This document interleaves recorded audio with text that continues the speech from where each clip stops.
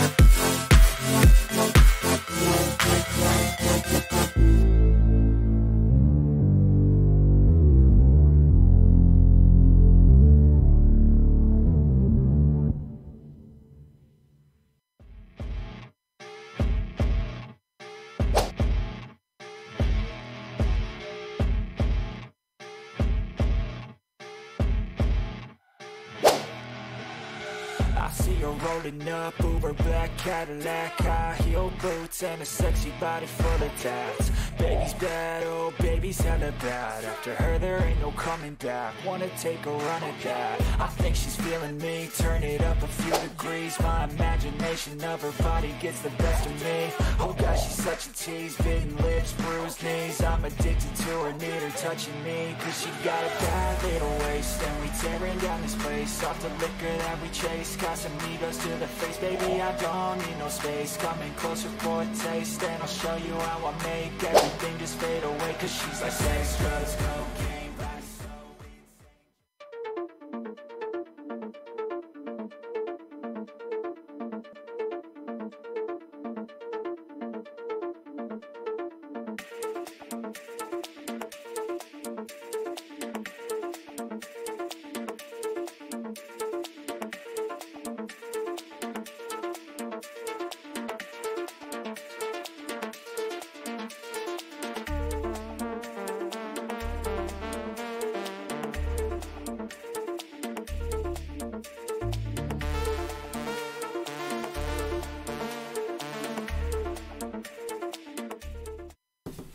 começa agora mais um Cast Brothers Podcast. Meu nome é Christian Chiono e eu serei o seu anfitrião nesta jornada de conhecimento e de entretenimento.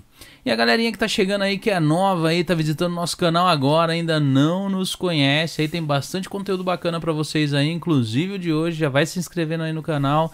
Deixa aí já o seu like aí, clica aí no sininho para receber a notificação de todas as lives. E antes de você fazer isso, já verifica aí se você já não é inscrito no nosso canal para você não pegar e desmarcar aí a, né, o sininho aí e desmarcar a sua inscrição aqui em nosso canal, ok?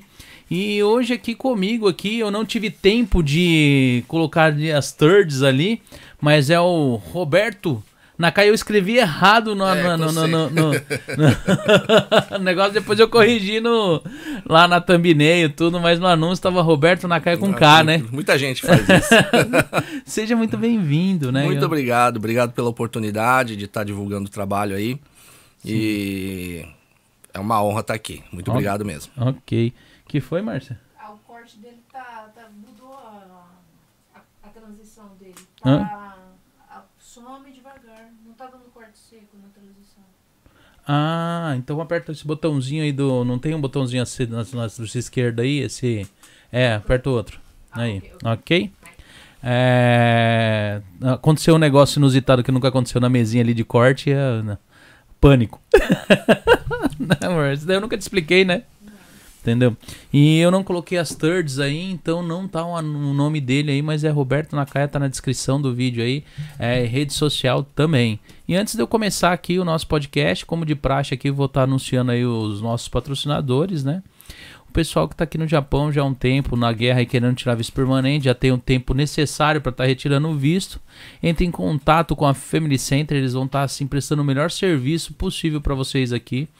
Né? É um sonho para muitos retirar o visto permanente, não ter aquela canseira de ficar indo na imigração, retirando o visto, né? Mexendo com isso daí tudo. E também tem aquela, aquele outro sonho que é você adquirir um imóvel aqui no Japão, até mesmo poder comprar carro e outras coisas. O visto permanente ajuda muito nisso. E para quem quer realizar o sonho da casa própria, também entre em contato aí com a Family Center. Eles também vão estar tá te atendendo aí, é, escolhendo, te ajudando a escolher a melhor casa para você aí, porque morar no seu próprio imóvel é muito bom aqui no Japão. A gente se desacostuma com isso, esquece de como é morar em casa. E eu, quando adquiri um imóvel aqui, mudou a vida da gente. E se vocês quiserem conhecer um, um, um, pouquinho deles aqui, tem dois podcasts que eles participaram aqui. Um foi o Alexandre Muzen, o outro foi o Jacob Kleber. Eles são eles são são donos da Family Center, né? Eu olhei pra Márcia, fiz essa cara que ela fez um barulho aqui. Eu acho que caiu um lenço lá do outro lado, não sei o que que fez esse barulho, né? E aí, se vocês quiserem conhecer um pouquinho sobre eles, entra lá e dá uma assistida. Vocês vão ver que são pessoas idôneas aqui no Japão, né? Pessoas que trabalham com muito carinho aí, atende o pessoal com muito carinho.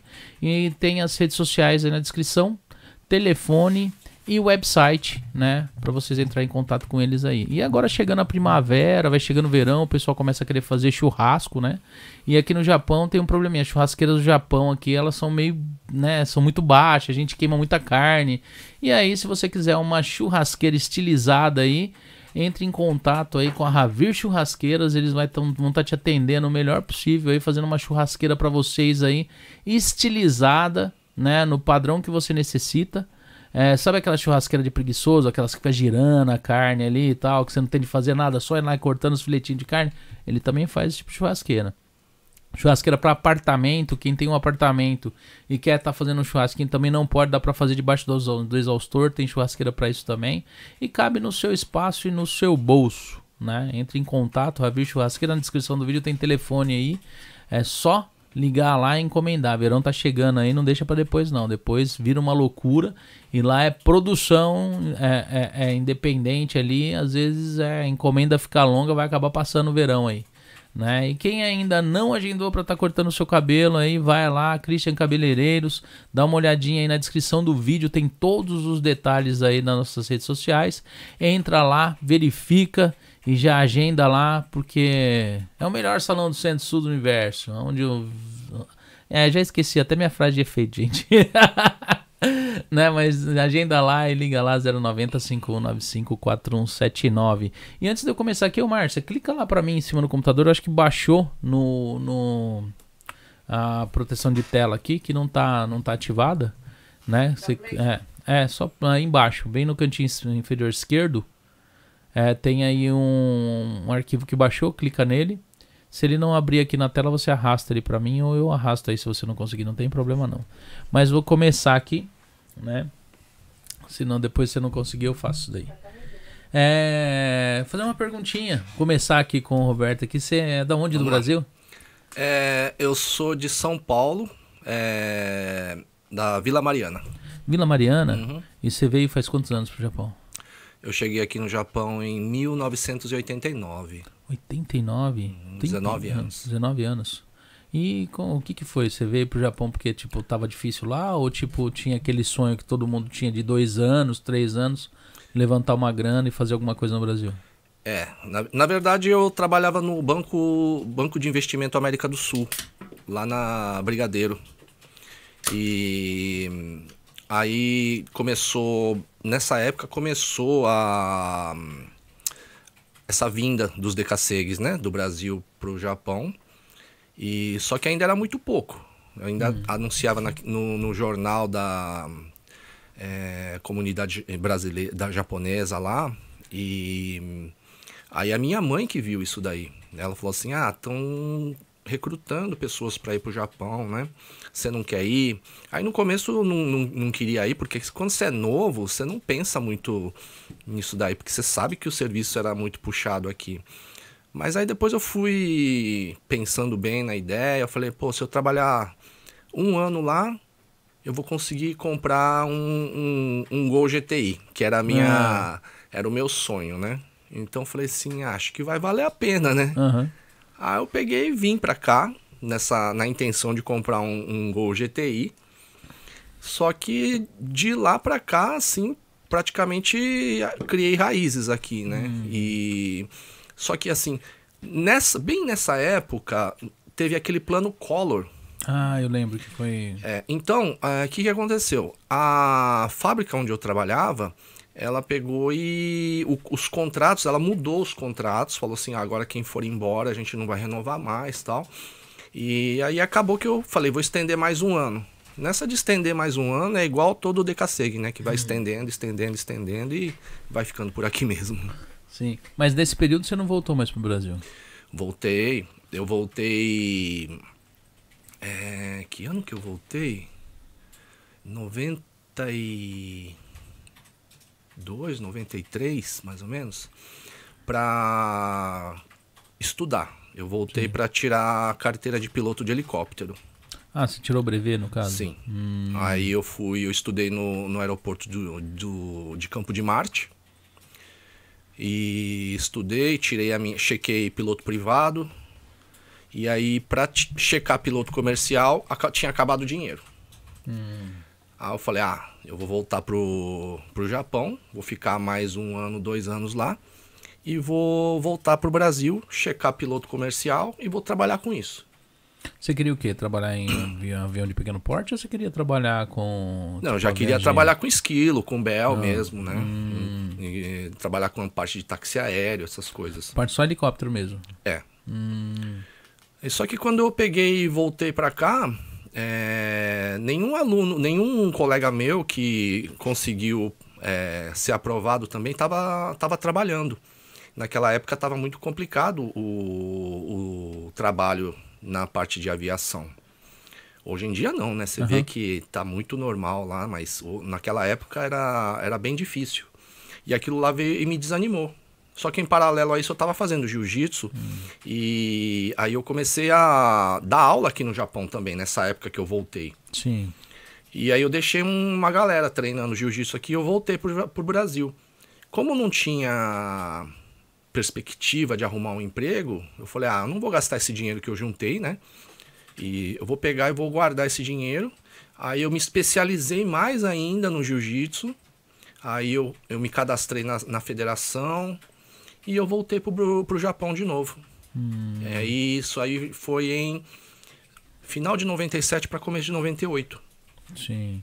E lá no Brasil, quando você trabalhava com investimento, já, já daí você já tinha um conhecimento dessa parte? No, você trabalhava no banco ou não? Foi um acaso? Foi tipo você, você entrou no banco. É, eu entrei no era o- banco ah. sem saber nada, sem ter ideia do que eu ia trabalhar ali. Hum, Então, o- na, na verdade, os investimentos, é, eu só fui descobrir realmente no, quando eu comecei a trabalhar no banco, que eu falei assim, o, o colega que estava trabalhando comigo, né? Ele falou assim, meu, você sabe é, o que, que é overnight? Eu falei, não, não sei o que, que é. Ele falou assim, faz o seguinte, quando você receber, você pega, é, faz isso, isso, isso, isso.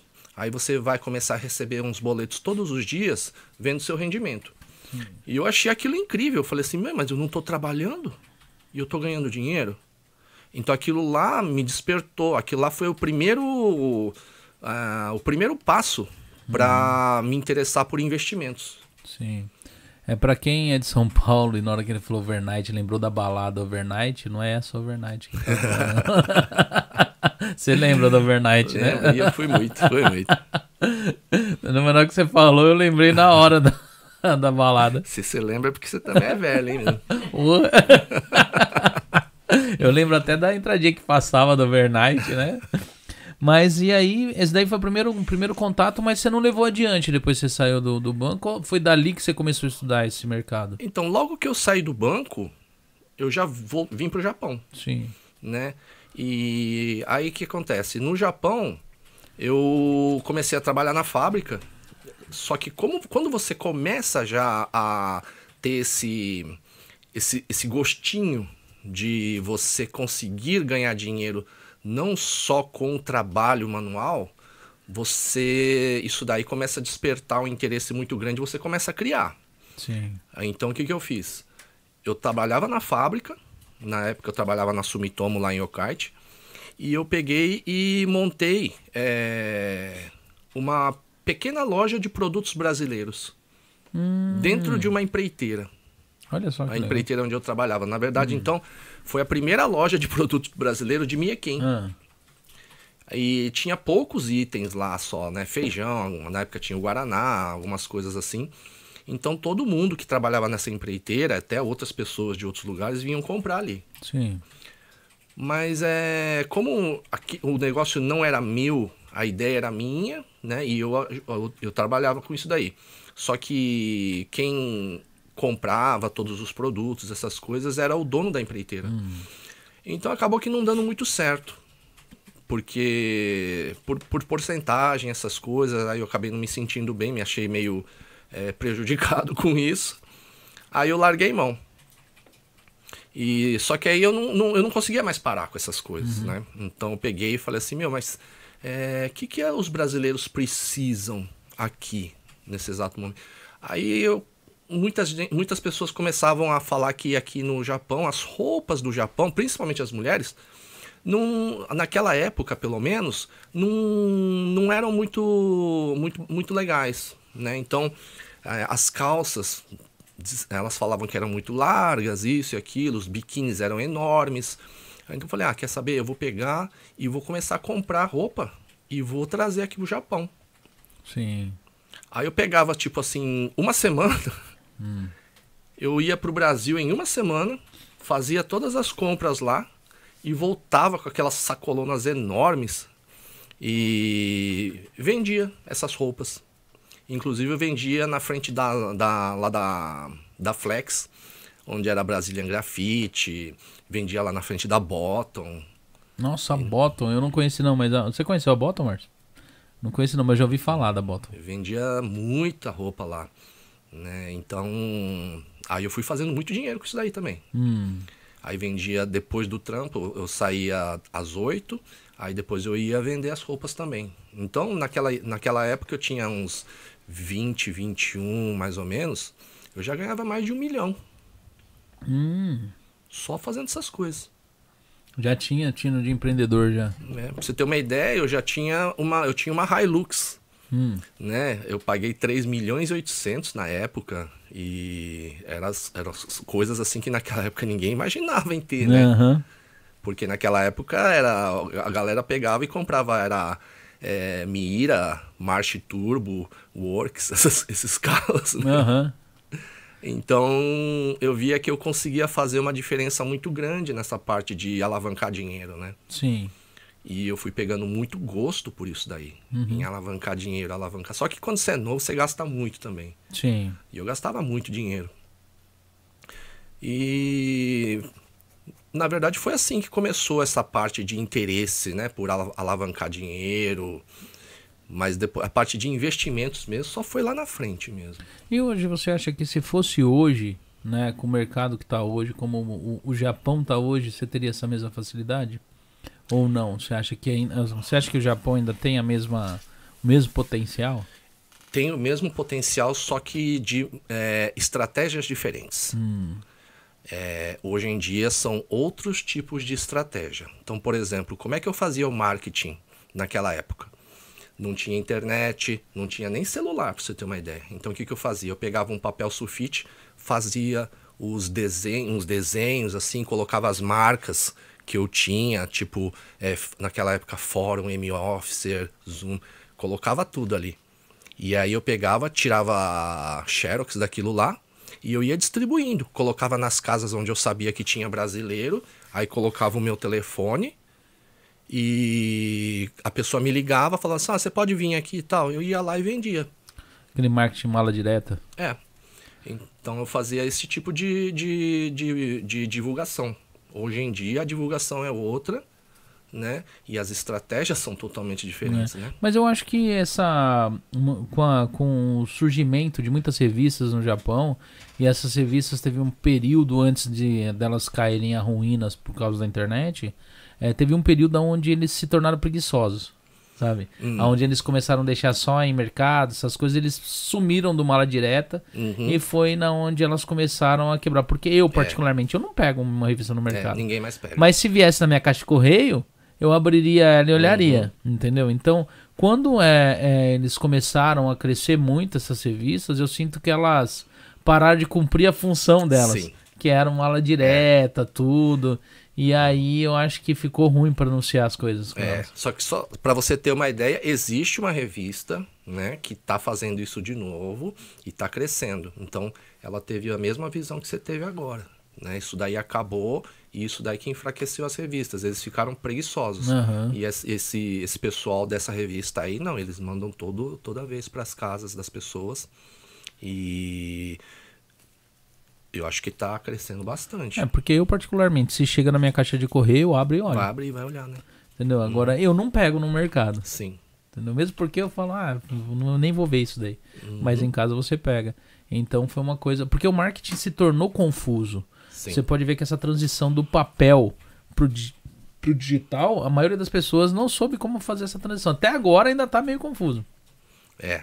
Mas ainda para nós da comunidade, na verdade, se você Uhum. parar e pensar bem, olhar bem assim, o, o marketing digital ainda tá, tá, tá atrasado ainda. Tá gatinhando aqui. Né, aqui na nossa comunidade.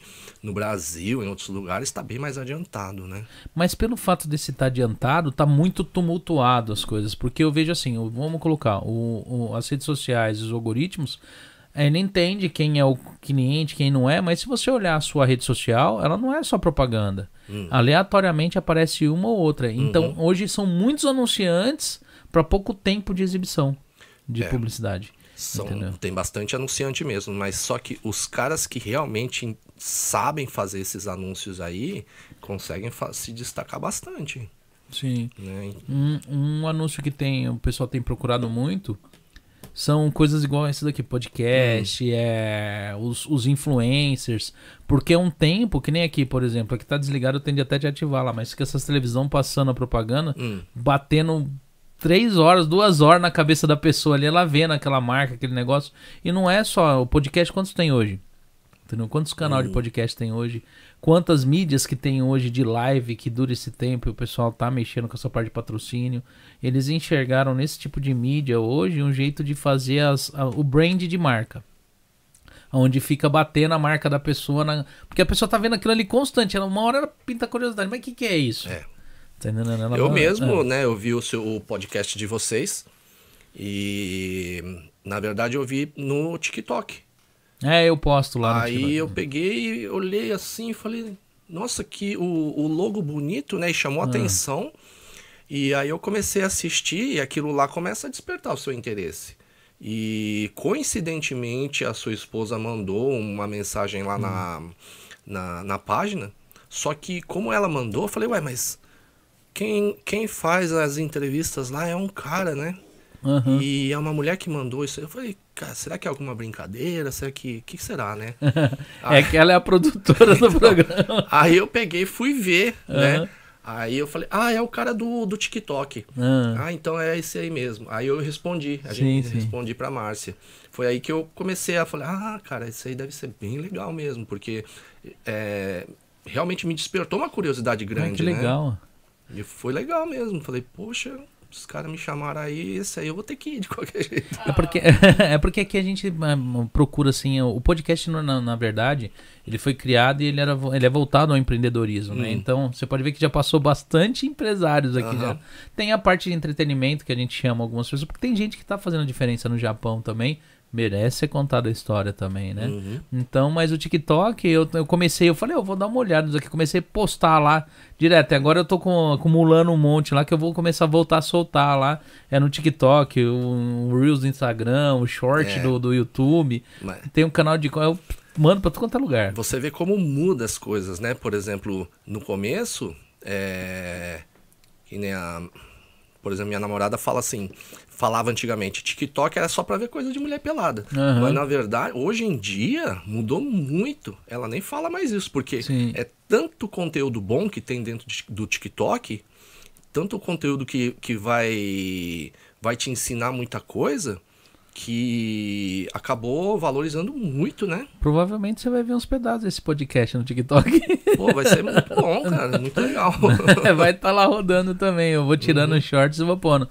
Porque é legal isso daí, porque tem gente que não tem paciência pra assistir a- a- a- o conteúdo todo. Uhum. E eu arrumei um jeito também pra mim, porque o TikTok ele também funciona pra quem anuncia aqui, parte de brand. Você pode ver que fica a marca do pessoal, embaixo e em cima e marca d'água. É, é que nem eu te falei, vai batendo na, na, na- no o pessoal fala quem que é, quem que é esse daqui, quem que é esse É. daqui. E o pessoal vai procurando e Isso, buscando, foi né? o que me, eu peguei, eu vi um, um, um TikTok lá que você colocou, falei, não, eu queria assistir mais, eu fui lá procurar no YouTube. Ah, ó, então isso aí vai incentivando. aham. E aí, vamos. é, já já a gente conversa mais sobre essa parte, mas eu quero. A minha curiosidade é como que você foi parar no Forex? Porque assim, até onde a gente tá, aqui no assunto, tipo, você tinha saído do mercado, começou a juntar dinheiro com, mexendo com roupa Uhum. tal, e daí você já pulou pra parte de investimento ou não? Tipo. Não, é, eu, a- eu tenho, eu montei a minha academia, a Tokai Brazilian Jiu-Jitsu, em 1998, Ah, foi lá atrás mesmo. lá atrás. Na verdade, foi a, eu acho que da, da nossa comunidade, foi a segunda academia do Japão. Nossa. É, Antes só tinha a do, do Furukawa, que era em Nagano, Hum. e a Team Tiger, né? Antigamente Sim. chamava Team Tiger. Aí depois eu montei a Tokai, aí depois veio a Tani Jiu-Jitsu, Rocha Jiu-Jitsu, e veio, começou a...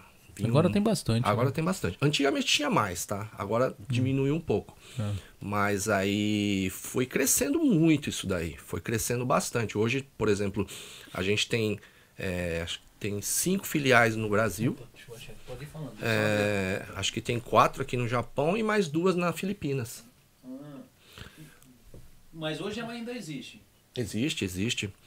E só que assim, é, eu continuei fazendo, dando aula de jiu-jitsu e acabou que eu fui tentar me meter em coisas assim que eu não tinha muito conhecimento, né? Que era hum, parte de produtos brasileiros. E uma coisa que me, me prejudicou bastante foi entrar em sociedade com pessoas. A sociedade é, complicado. né? Aí acabou que eu fui fazendo muita coisa errada, assim, por ingenuidade mesmo. E eu fiquei com uma dívida muito grande. Né? Na verdade, nós éramos em três sócios, mas é, duas pessoas não quiseram nem saber dessa dívida aí. Eu falei, não, eu não posso dar para trás com isso. E acabou que eu, eu peguei e essa parte é até boa falar, porque todo mundo pensa que você tá bem e sempre ficou bem a vida inteira, Uhum. né? Quando na verdade não é bem por aí não. Eu já passei muito perreio na minha vida. É... Para você ter uma ideia, eu quando eu comecei a pagar essas dívidas aí, é, eu fazia segurança nos finais de semana. Então, tipo, eu ganhava 10 mil no sábado à noite. Então, esse 10 mil era para comprar comida a semana inteira. Porque o restante das coisas era tudo para pagar dívida e as despesas da casa. Então, eu fiquei fazendo isso em mais ou menos uns 3 anos. Mais uns 3 anos assim no perreio mesmo. Sabe que você não ter nem dinheiro para comprar um presente de Natal para suas filhas. E foi pesado mesmo. Só que você vai, você não pode desistir, né? Você tem que estar continuando. E foi aí que eu fui pagando e começou a diminuir as dívidas, foi diminuindo. Chegou uma hora que eu acabei pagando tudo. E quando você paga tudo, o que, acontece? Esse dinheiro que você já está acostumado a pagar, eh, você não tem mais o que pagar. Então ele vai sobrando dentro do seu. Do, vai sobrando no seu bolso. Então isso daí começou a me despertar novamente o interesse por alavancar o meu dinheiro. E foi aí que eu comecei a estudar serigrafia. E aí eu comecei a fazer camisetas, né? Um, um senhor que me ensinou lá, ele, ele fazia banners, um monte de coisa. Então ele me ensinou a fazer tudo. E aí ele teve que ir pro Brasil é, ele arrumou um trabalho lá e ele me passou toda a clientela dela, dele. E eu fui fazendo isso daí também. Chegou uma hora que eu consegui, assim, a- eu ganhava muito dinheiro com serigrafia. Então eu trabalhava na fábrica, trabalhava com jiu-jitsu e ainda fazia serigrafia. Então eu levantava em média aí, por baixo, um milhão, um milhão e duzentos por mês. São bastante dinheiro. com essas três, esses três trabalhos, né? E eu fiquei mais ou menos um ano fazendo isso daí. E eu consegui juntar um bom dinheiro. Aí que eu falei assim, eu acho que eu vou trabalhar com, com ações. Porque na revista alternativa tinha uma um, uma, publici uma, uma propagandinha assim que o, o meu mentor, né, o atual mentor, meu professor, eh, ele falava assim, o seu futuro dá jobo.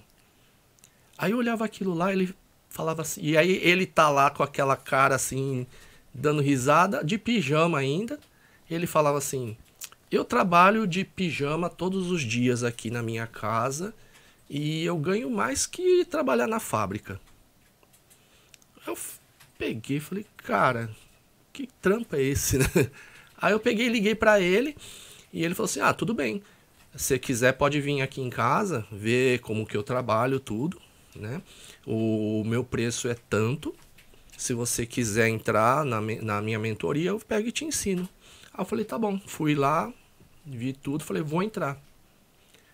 E aí eu comecei a, a estudar isso daí. Só que naquela época também, é assim, o Forex não era conhecido. Então, Isso foi em que ano? no, é, 2000 e... 2008. 2008, a maioria do material de Forex era em inglês. Você não achava material, acho que 2008, 2007, a maioria era em inglês. Você não achava nada em português. Era Pois difícil é. achar coisa em português. Hoje tem um monte de É. coisa, né? Até, você até se assusta de quanta coisa que tem de Forex. Mas naquela época não tinha mesmo. Não, era complicado. E, e realmente, é assim, as informações eram muito poucas, né? Mas o que tinha de informação já dava para ganhar dinheiro. Então eu peguei e me esforcei muito para aprender. E esse, esse meu mentor sempre foi muito kibishi, né? Ele sempre foi bem é, rigoroso comigo e com os, os outros alunos. Mas mesmo assim eu não queria nem saber. Falei assim, não, é isso aí que eu quero fazer mesmo. Aí deu em 2009, começo de 2009, eu comecei a tradear numa conta real.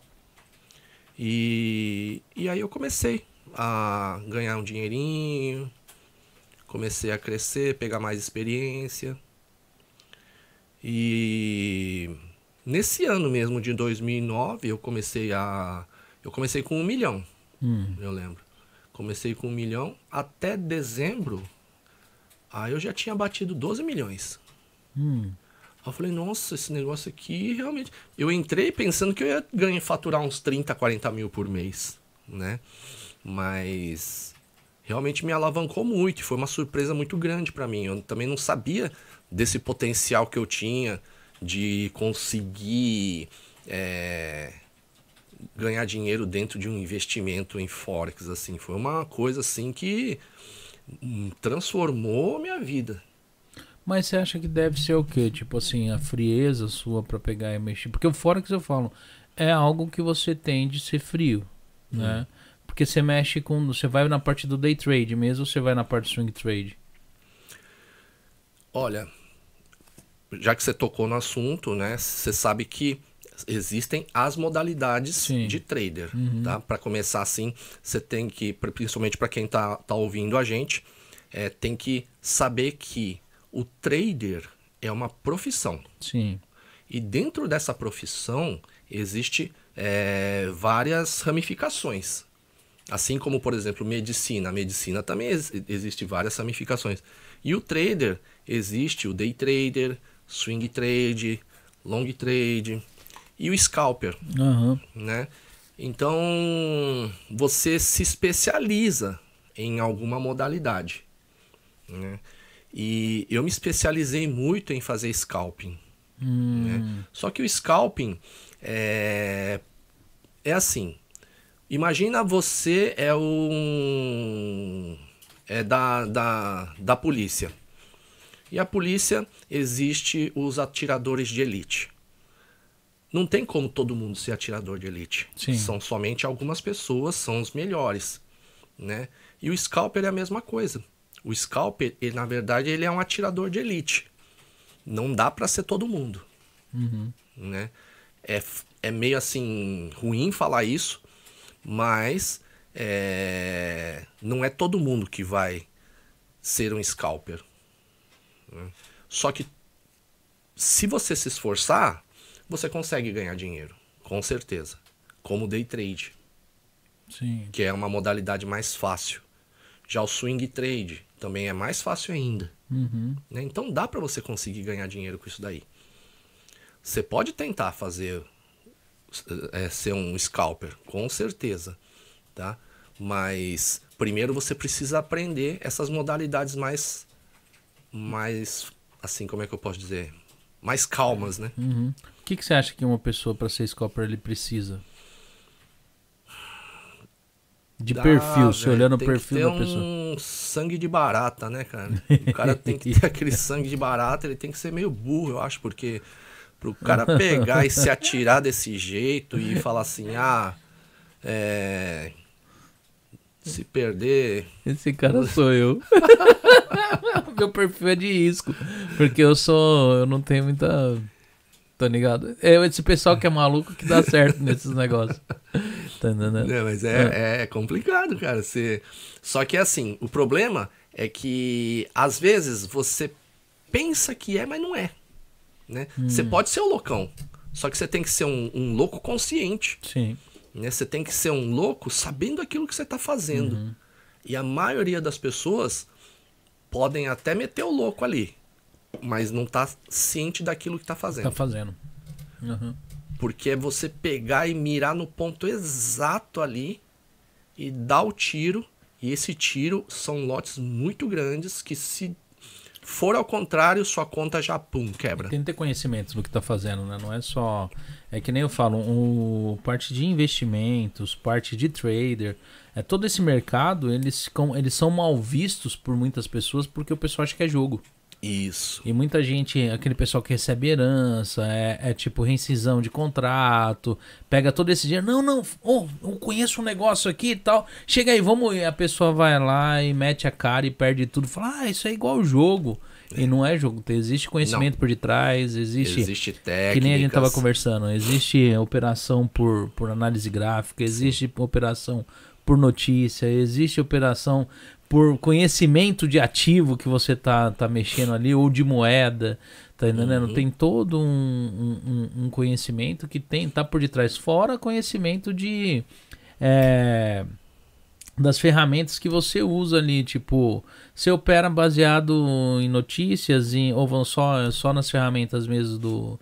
De, de- Os de- indicadores, de você tá indicadores, é. falando, né? Na verdade, eu eu não gosto de indicador. É. Eu sou contra os indicadores, tá? Porque o indicador é como se fosse uma rodinha lateral de bicicleta. Hum, Então você nunca vai saber andar de bicicleta sozinho se você não tirar a rodinha. hum, É, por isso eu, eu uso o menos de indicadores possíveis para você tradear.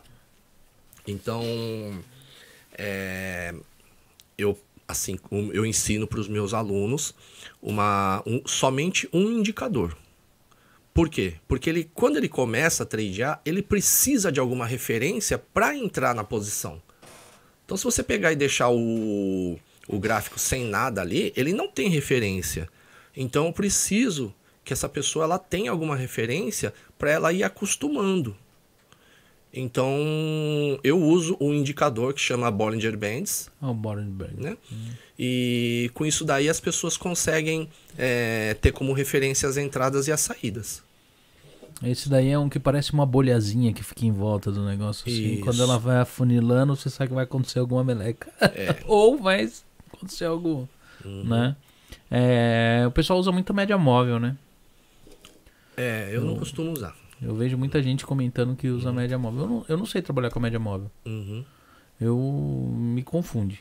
Tá entendendo? É, Na verdade, o que, que acontece é que eu mesmo eu não eu sou muito ruim para aprender as coisas, pra falar a verdade assim, eu sou muito ruim para para nomes difíceis, para técnicas, essas coisas assim.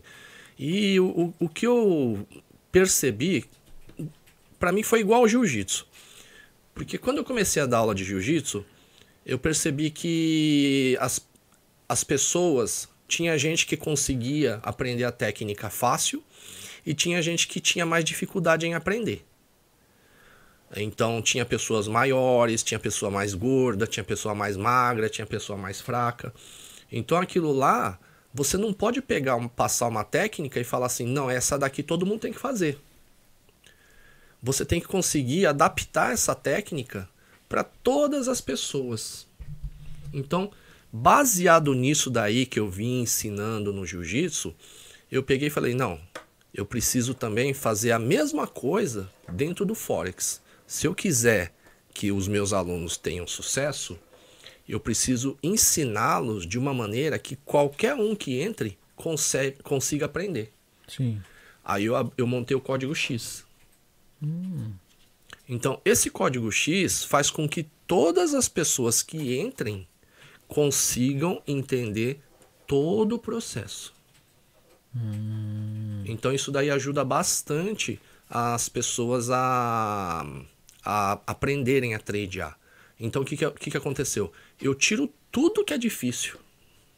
Porque eu, eu, uma vez eu conversando com uma pessoa, eu falei assim, o problema é que a maioria das pessoas que procuram é, um profissional que mexe com investimentos, no geral, investimento, trader ou qualquer tipo de coisa que mexe com cripto, né? É, eles procuram as pessoas porque ele não tem conhecimento. Senão ele não procurava. E essa pessoa que procura, ele não tem conhecimento de nomenclatura de mercado. Isso mesmo. Entendeu? E aí você vai começa assim, você fala muito difícil, a pessoa já fala, ah, não é para mim esse negócio. Porque o cara que ele entende, ele não te procura. Entendeu? Ele pode até te procurar se ele entender que dá pra fazer uma fusão com alguma coisa. Senão ele, ele. Porque normalmente quem já tem um conhecimento X, eles são teimosos. Eles não querem. Eles, eles acham que eles são autossuficientes e às vezes dá para aprender mais ali. Então esse é o pessoal que tem conhecimento de nomenclatura, conhecimento de mercado. E ele é difícil procurar quem está dando um, um, curso, alguma coisa assim. É. Agora tem o pessoal que dá curso, eu acho que eles. O, o, o, não que seja errado, né? É um, é um método. Mas é meio confuso para quem não tem muita noção de, do português, às vezes, tá entendendo? Ainda aprender uma nomenclatura mais complicada Sim. de mercado principalmente para a gente da comunidade, né? A gente que é DKC, que trabalha em fábrica, o que, que acontece? A gente já perde esse, essa sensibilidade né? de, de, de conseguir entender palavras mais difíceis, porque a gente está na fábrica o dia inteiro. Né? Você está na fábrica o dia inteiro, você não está estudando, você não está. É, então acaba que você. Isso aí é, deixa você. Hum, me, com menos conhecimentos. E aí você cria uma dificuldade maior de aprendizado, Sim. né? Então, por causa disso tudo aí, eu falei, não, eu vou cortar tudo que é palavra difícil. Por exemplo, é, eu mesmo, o nosso vocabulário, todo que a gente usa na, na, no, na mentoria, é tudo feito por mim. Hum. Né? Tipo assim, eu faço, falo assim: ah, vamos usar a técnica do pêndulo, vamos subir a ladeira, vamos descer a ladeira. Né? Tem. Você mesmo falou assim que quando a banda de bola gerar funila, essas coisas.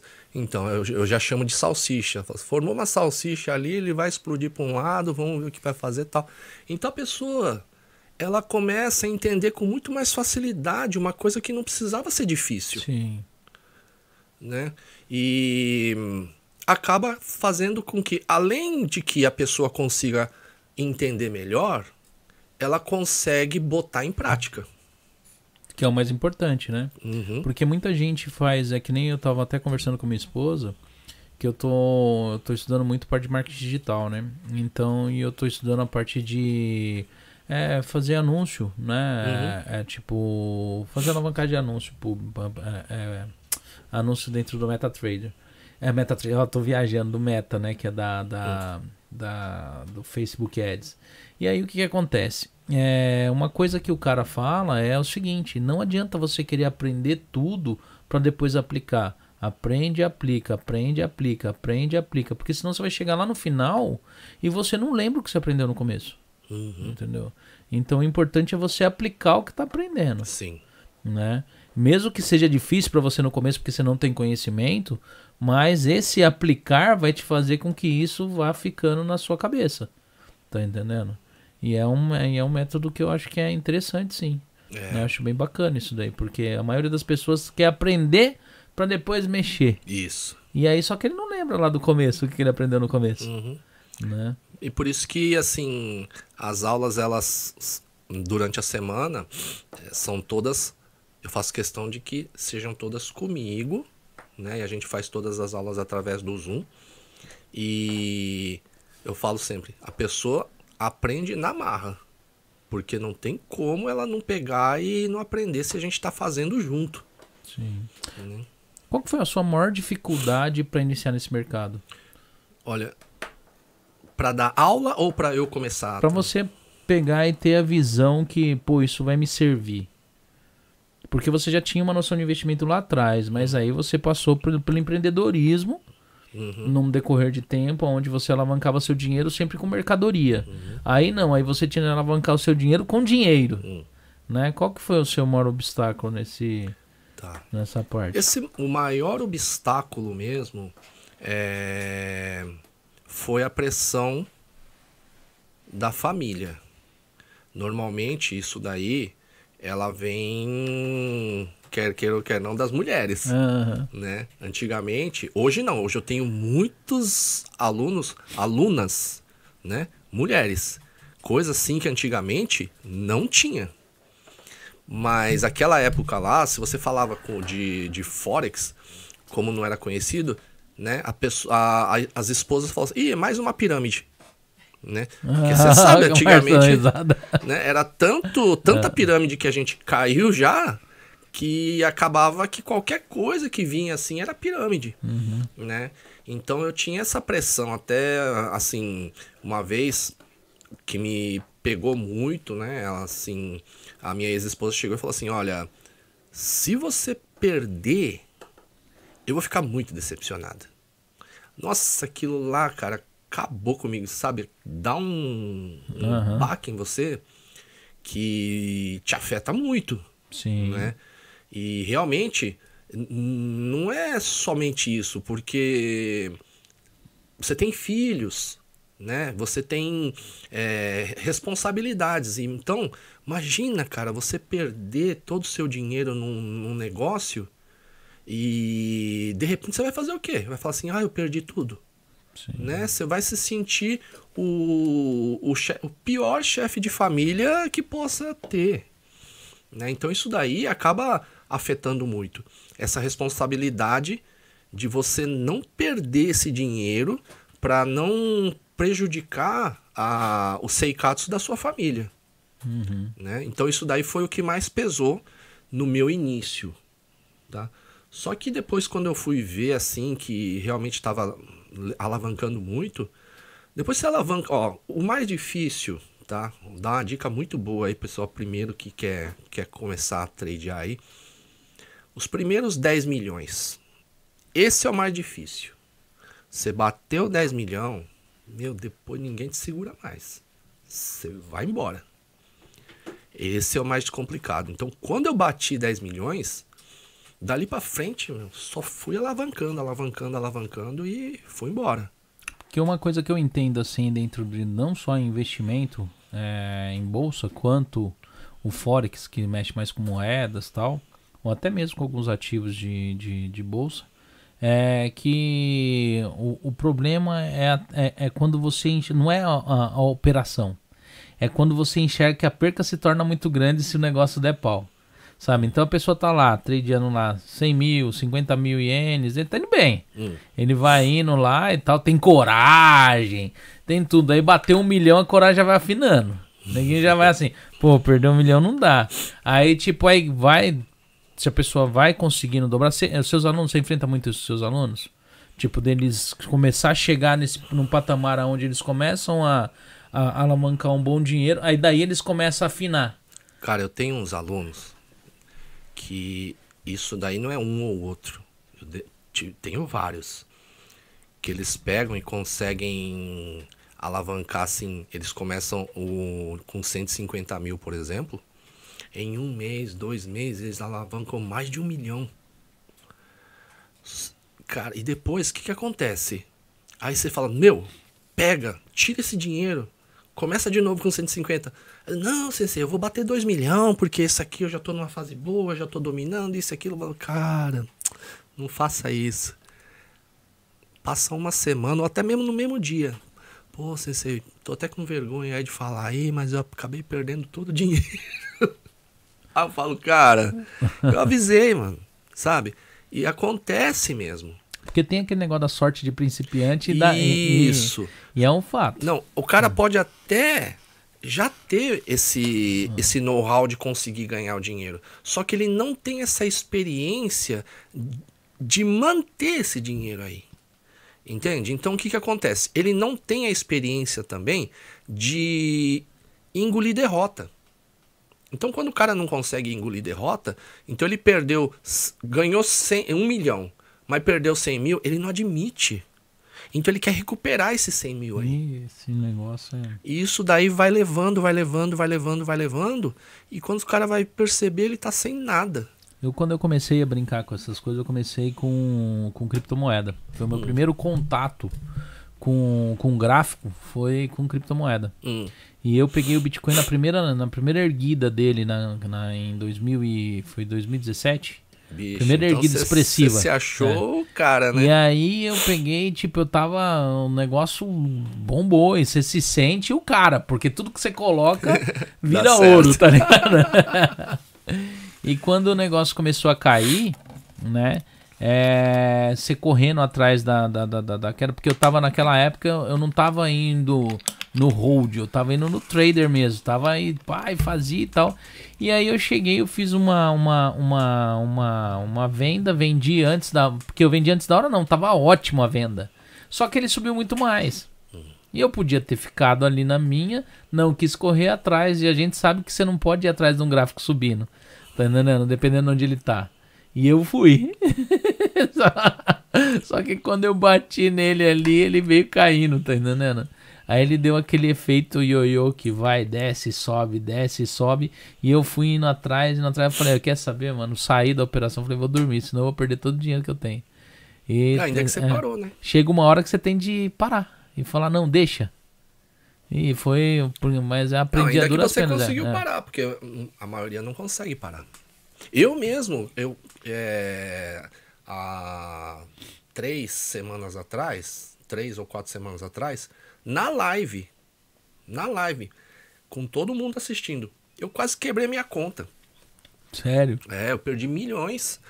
Aí sobrou 108 mil na minha conta. Nossa. E na- foi na sexta-feira. Na frente dos meus alunos, na frente do pessoal que estava assistindo. Tinha mais de 100 pessoas assistindo e todos os meus alunos também estavam lá. Eu falei, cara, olha a merda que eu fiz, velho. E agora, né? Aí eu peguei, pensei bem, assim, falei, ah, pessoal, tá vendo, ó? Olha bem aí, ó. Tem 108 pau na conta. É, eu prometo pra vocês com que esse, oi- esse 108, oi- 108 mil, com esses 108 mil, eu vou recuperar tudo que eu perdi. Eu não sei quando, né? Não sei quantos meses vai demorar, mas eu vou recuperar. O tomo então foi grande. Pra não sei quantos meses o negócio deu uma. É, mas eu já recuperei, É, né? é. Já passou essa, passou aí já uns quase 30 É. dias aí. Aí eu consegui recuperar já. Porque eu vi um. Tem um. é um- é até um virou até um meme isso daí, sabe? O cara, ele tava começando a gravar a operação, né? E ele pegou e tinha ligado o computador, tinha entrado na operação e ele tava arrumando uns negócios. Na hora que ele virou aquele Kendo enorme descendo assim, ele. Não! Não! não", gritando, tá ligado? Que ele foi não deu tempo. o negócio veio assim, foi- alguma coisa aconteceu que o mercado despencou de uma vez. O negócio veio assim e ele tava preparando as coisas ainda pra começar a fazer a live dele, saca? Aí acabou virando, tem esse meme na internet. Você procurar ele, você acha, tá entendendo? É, o meu foi parecido assim, porque foi questão de 30 minutos você quebrar tudo. O dele eu não sei se deu, deu alguns segundos ali que ele tava preparando os equipamentos ainda, que ele tinha entrado na operação. Hum. Ele tava virado pro computador, aí ele foi arrumar a câmera, arrumar os negócios, foi ver que não tava filmando direito. Daqui a pouco começou a descer o bagulho, descer, descer, que ele foi, já não, não- o negócio já tava indo.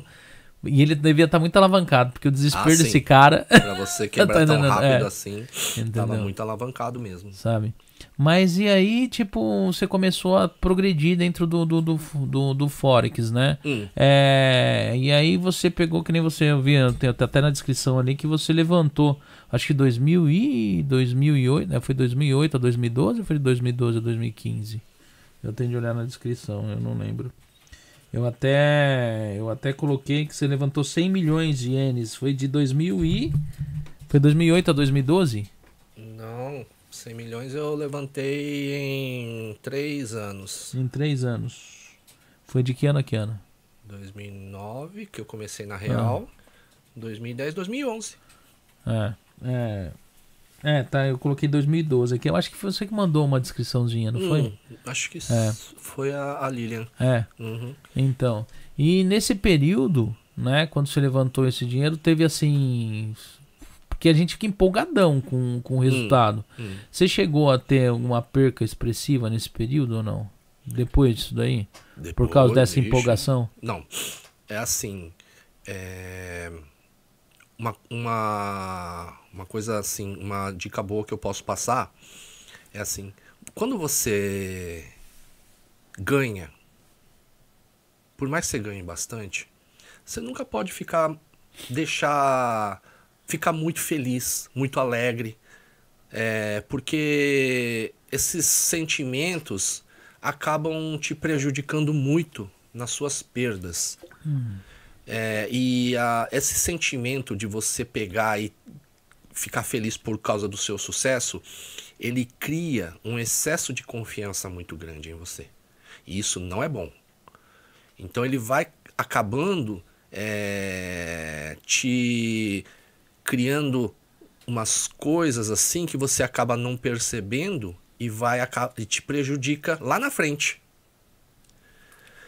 Então por isso que eu falo, quando você pega e ganha um bom dinheiro, simplesmente agradece a Deus e tá bom. E quando você perder, também é a mesma coisa. É como se fosse um dia de trabalho. Tanto no- na, na, na vitória como na derrota, tem que ser um dia de trabalho. Então, por exemplo, teve um dia que eu estava trabalhando na fábrica, porque eu não larguei a fábrica, fiquei um tempão ainda trabalhando na fábrica. Eu, no, no, no intervalo, é, eu, levei, eu, eu levava meu notebook lá e eu tradeava de lá, da fábrica. E eu, em- em 15 minutos, eu fiz 15 milhões. Em 15 minutos? 15 minutos. Mas você tinha quanto na, na, na conta pra alavancar? Ah, eu já 15 tinha minutos? bastante dinheiro, né? Porque 15 milhões você tem que tá, tem, você, em 15 minutos você tá, tá com bala na agulha. Ah, então, né? quando você entra para fazer 15 milhões, você tem que entrar com no mínimo 1.200 lotes, Hum, né? E para você ter uma ideia, a corretora ela permite que você entre, ah, dependendo da corretora, né, 300 lotes de cada vez. Então você tem que ficar apertando lá que nem um louco para para as posições entrarem, Aham. né? Então, porque é, você lembra daquele, daquela época do terremoto de, de Fukushima? lembro. Então, tudo caiu, tudo despencou. O ien despencou, as ações despencaram, tudo foi lá para baixo. E naquela, naquela época, o- os outros países eh, prometeram ajudar o, o Japão. Então, é, e a gente já sabia disso daí. Então, quando começou, antes de abrir o mercado japonês, lá pelas 8h50, o que, que aconteceu? O dólar ien começou a descer, descer, descer, descer, descer. Então, o que, que eu fiz? Eu fiquei esperando, chegou perto de 9 horas, bum, botei 2 mil lote. Na hora que eu botei 2 mil lote, ele pum, subiu igual um foguete. Aí você, de repente você vê aquele número enorme subindo na sua conta. Você fala, caramba, meu, acertei. Ele foi subindo, subindo, subindo, subindo. bateu o valor. Na verdade, ultrapassou 20 milhões. Só que o, eu fui zoião e fui tentar fazer outras coisas. Ah. Então aí eu acabei perdendo uma parte. Ah. Então só sobrou os 15. Aí eu cortei tudo, falei, não, tá bom assim. Cortei, fechei meu notebook e voltei a trabalhar. E eu fiquei muito mais tempo, ainda fiquei muito tempo trabalhando. Até, Pode falar. até bater os 100 milhões eu não parei de trabalhar. Você é um tipo de investidor que não gosta de tirar o dinheiro do, do, do- investimento? Não, Tipo, eu não tiro. Eu não tiro. Você é aquela pessoa que só vai. É. Mas agora, eu tô, quando eu tô ficando mais velho, Ah, eu, eu tô meio que. tô meio cagão. ah, Aí eu vou tirando também. ah. tá? Então, por exemplo, é, vamos supor, esse, essa perda que eu tive algumas semanas atrás, Ah. Eu já levantei, desses 108 mil, eu levantei mais de 8 milhões. Hum. Eu tô pensando, falei, ah, meu, você ficar assim, desse jeito aí, quando bater 10, você tira, tira, tira uns 7, 8 e só fica com 2, 3 de ano. Gente, pra quem tá assistindo do Brasil e não entende muito bem, porque muita gente acha que a inflação, a- a- que o Japão é um país que a inflação é muito alta, que é isso, aquilo, por isso que se fala de milhões, de mil. É, a moeda do Japão sempre foi esse, esse tipo de número, entendeu? É, é um centavo, é, cinco centavos, 10 centavos, 100 ienes, Goryakuen, que é é 500 ienes, a moeda, a nota de mil ienes, 5 mil ienes, tem a de 2 também, que não é muito comum você ver, e a de 10 mil ienes. Não é porque teve infla- inflação do país, as moedas chegaram nesse número. Então, quando você fala de milhões aqui no Japão, um milhão de ienes beira, mais ou menos assim, se, com o dólar do jeito que estava, agora está diferente os valores. Mas antes dava mais ou menos a média de 50 mil e mil reais. Hoje deve estar dando mais ou menos uns 38, 40 mil reais, mais ou menos, eu acho que um milhão de ienes. Entendeu? Então quando fala de um milhão, dois milhões, é mais ou menos a média de 40, 40, 38 mil reais. Então não é que às vezes o pessoal olha e fala, caramba, o pessoal só fala de milhões ali, né? A moeda brasileira, a moeda japonesa, ela é, não é porque o dinheiro japonês é desvalorizado, é porque aqui já, eu acho que eu já encontrei muita moeda antiga aqui no Japão, acho que deve, deve ser até milenário esse negócio desses valores aí, desse tipo aí, aqui no Japão. Mas assim, aí tipo você pegou e tem, hoje você tem uma visão já mais assim, aprimorada em relação à a, a, a retirada de dinheiro, tudo. Uhum. E isso você repassa para seus alunos? Com certeza. O que eu mais ensino, na verdade, a técnica, como eu te falei, ela, na verdade, ela é bem fácil de aprender. Uhum. Mas o que você tem que é, moldar na, na, na cabeça do, do, do pessoal é você conseguir é, fazer um gerenciamento bom de risco e conseguir é, quando você alavancar que pelo menos você tire o valor do seu investimento que fica muito mais fácil eu mesmo, quando eu comecei, eu co- falei pra você, eu co- coloquei um milhão. Mas quando eu dobrei esse um milhão, o que, que eu fiz? Eu tirei um milhão. Porque aquele dinheiro é aquele dinheiro que eu tinha trabalhado na fábrica. E então, aquela pressão de perder aquele um milhão já não tinha mais. Sim. Então, dali pra frente foi muito mais leve Hum. né? Então, eu não tinha essa pressão. Então foi fácil ir, ir desenvolvendo. Agora o que que acontece? É, O pessoal pega, coloca lá o dinheiro, começa a dobrar, triplicar, quadruplicar. Aí você fala, melhor você tirar o dinheiro. Tira pelo menos o que você colocou. Mas não, é que falta pouco para bater um milhão. Falta pouco para bater dois milhões. Falta pouco para bater três. Aí nesse falta pouco, ele quebra. Porque quando ele tira o que ele gastou, já até a pressão em casa é diferente, né? A pressão na cabeça da pessoa é diferente, né? Mas é, eu, eu entendo esse, mas eu acho que a maioria do pessoal vai no, o que mais faz o pessoal perder dinheiro, eu no meu ponto de vista, não sei se é assim. Você que mexe com o pessoal que tá investindo deve ter uma, uma posição melhor sobre isso. É o olho grande. É o olho grande, é a ganância. Putz, é, é muito complicado, cara. A ganância é uma coisa que todos nós temos. Não adianta falar, não, eu não sou ganancioso, eu vou de boa. Não vai, Não vai. Quando você pega e começa a apertar os botãozinhos, os botãozinhos começa a te dar dinheiro ali, você fala, vou mudar minha vida. Não, vou. Esse é o dinheiro da faculdade das crianças. Não, esse dinheiro é o dinheiro que eu vou viajar. Vou fazer esse dinheiro para terminar de pagar minha casa. Então a pessoa vai fazendo planos e esquece que ela vai perder esse dinheiro. E isso daí é muito ruim.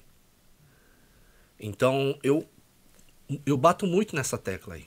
Pessoal, é, tem que tirar, né? Tem que fazer retirada, tem que fazer isso, tem que fazer aquilo. Depois que você conseguiu retirar o que você investiu, meu, aí fica você que sabe. Faz o que você quiser, né? Mas até então não faz isso daí. Como que é a parte da legalidade em relação ao Forex no Japão? Você tá falando de imposto, essas É, coisas? não só de impostos, porque que nem no Brasil tem muito problema com esse negócio das corretoras, o pessoal usa corretoras de fora, né? Hum. Porque o Brasil tem um monte de lei que dá, acaba dando problema com as corretoras de Forex no Brasil. Hum. É, e o Japão também tem ou não? No Japão as coisas são mais fáceis, Ah. né? É, o Forex no Japão é totalmente legalizado. Porém, na época que eu comecei há 15 anos atrás, existe uma coisa chamada alavancagem. O que seria alavancagem? Alavancagem, por exemplo, é você pegar e você usa um- uma gasolina regular no seu carro. Então, seu carro vai andar aquele tanto.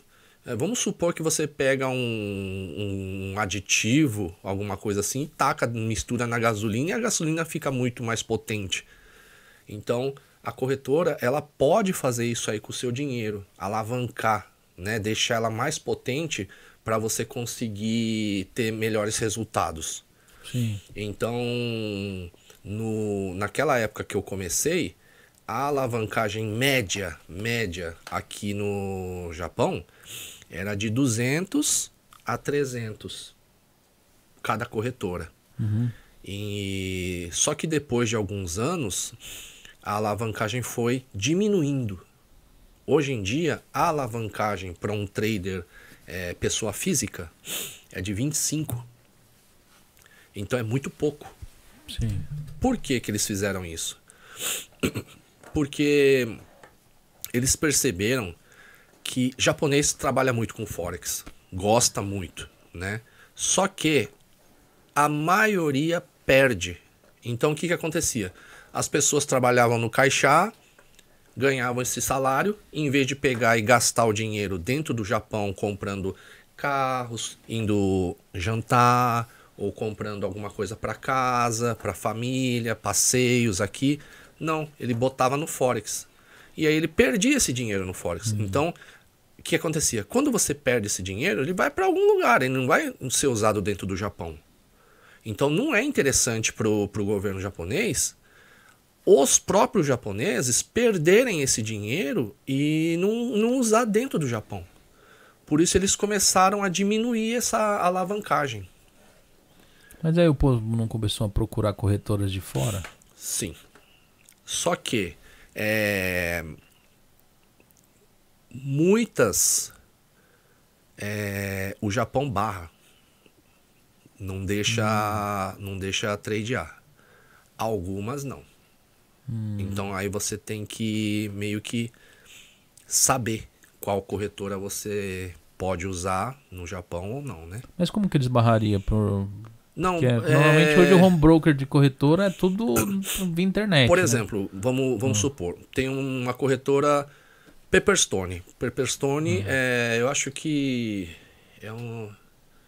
Não sei se é da Austrália, não sei de onde que é. Antigamente você conseguia pegar, se cadastrar e usar essa corretora. E o que, que acontece? Agora, hoje em dia, se você pega, clica Pepperstone e quer se cadastrar, ele, ele linka diretamente com a Pepperstone do Japão. Aí ele já mostra que a alavancagem é de 25, sendo que lá fora a alavancagem é 300, 500, mil. Entende? É, então tem muitas corretoras que você acaba, é, mesmo sendo de fora, trabalha com a alavancagem daqui. Mexer muito com a FX Pro, né? Que é Hum. uma corretora da Inglaterra. Ah, Entendeu? Mas não. Faz tempo que eu não entro lá, que eu não, não mexo lá. Hum. Tem dinheiro lá, tem de olhar lá. Pois é, então, por exemplo, do Cascop, que é da, acho que é da Suíça, se não me engano, você se cadastrar, para você se cadastrar, você precisa do comprovante de endereço. Se você é do Japão, eles falam, não, entre em contato com a do Cascop do Japão. Ah, mas aí no caso é porque tem a corretora no Japão também. É, eu não sei bem como que é esse, esses acordos que o Japão faz com essas corretoras. Porque as corretoras de cripto, é, você não pode me trabalhar com moeda FIT, né? Hum. Então, quando você coloca o endereço que é de outro país, você não tem acesso à moeda FIT. Então, só as criptocorrências mesmo. Então, você não pode pegar e transitar ou tirar dinheiro dentro desse país.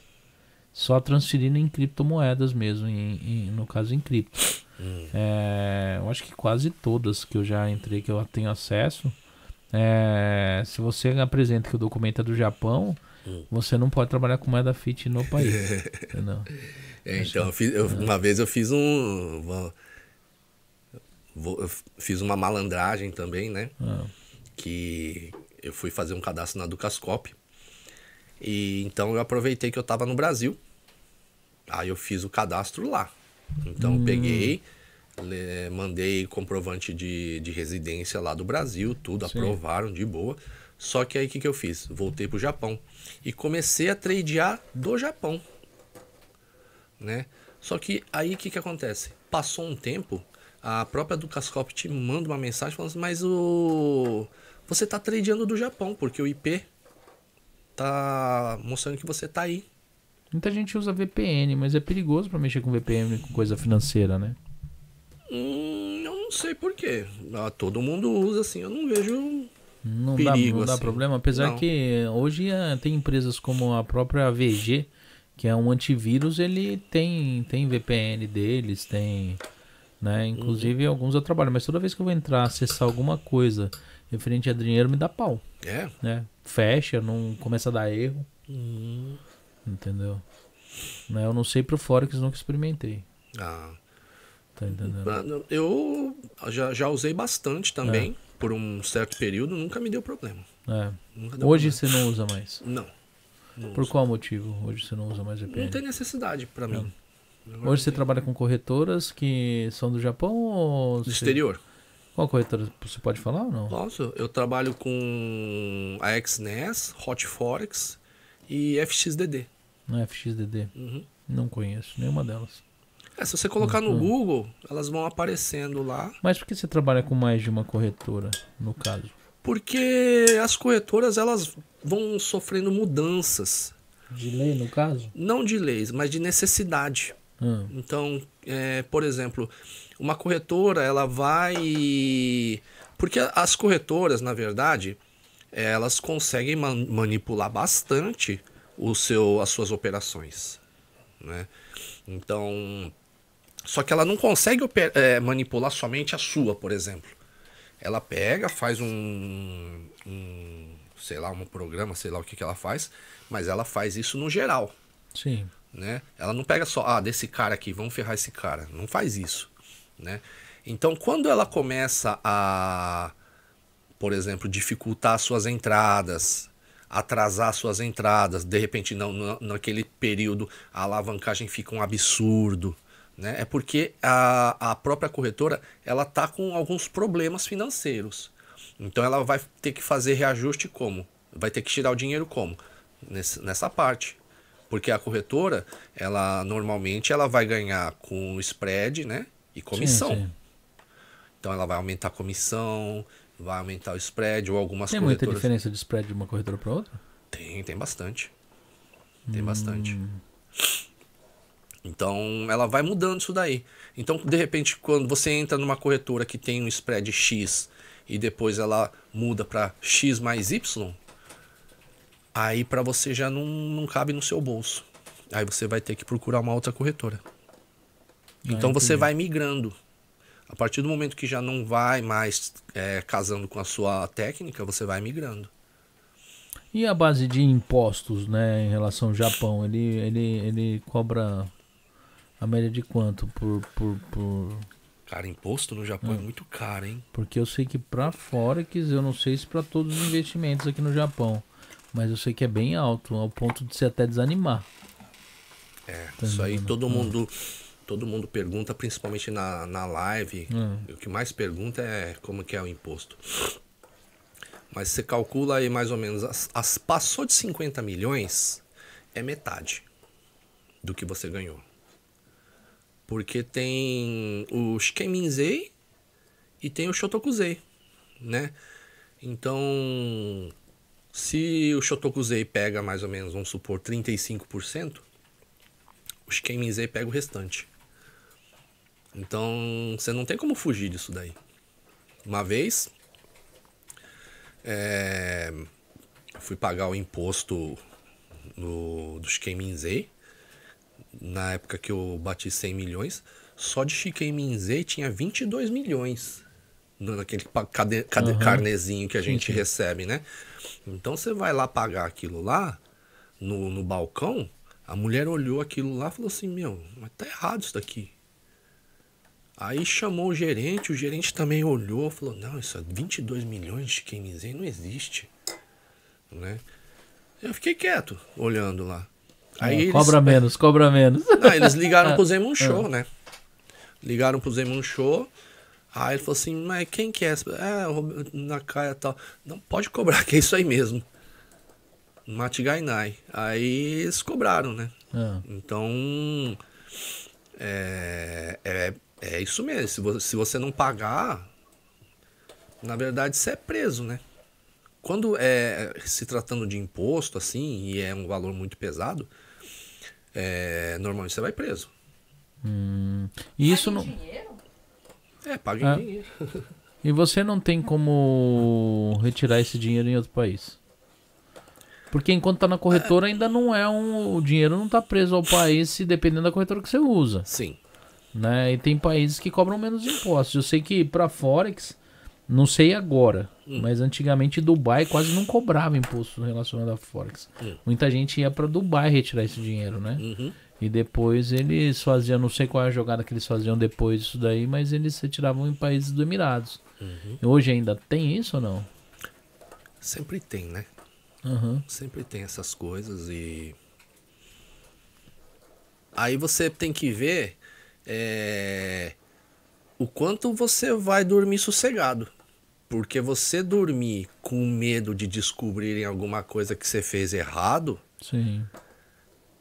é, é meio complicado. Eu não sei se fazer errado. No caso, quando você não é cidadão do país, né? Você tem a opção de tirar ou no país que você reside ou no país que você é. é- é- No Brasil, como que funciona?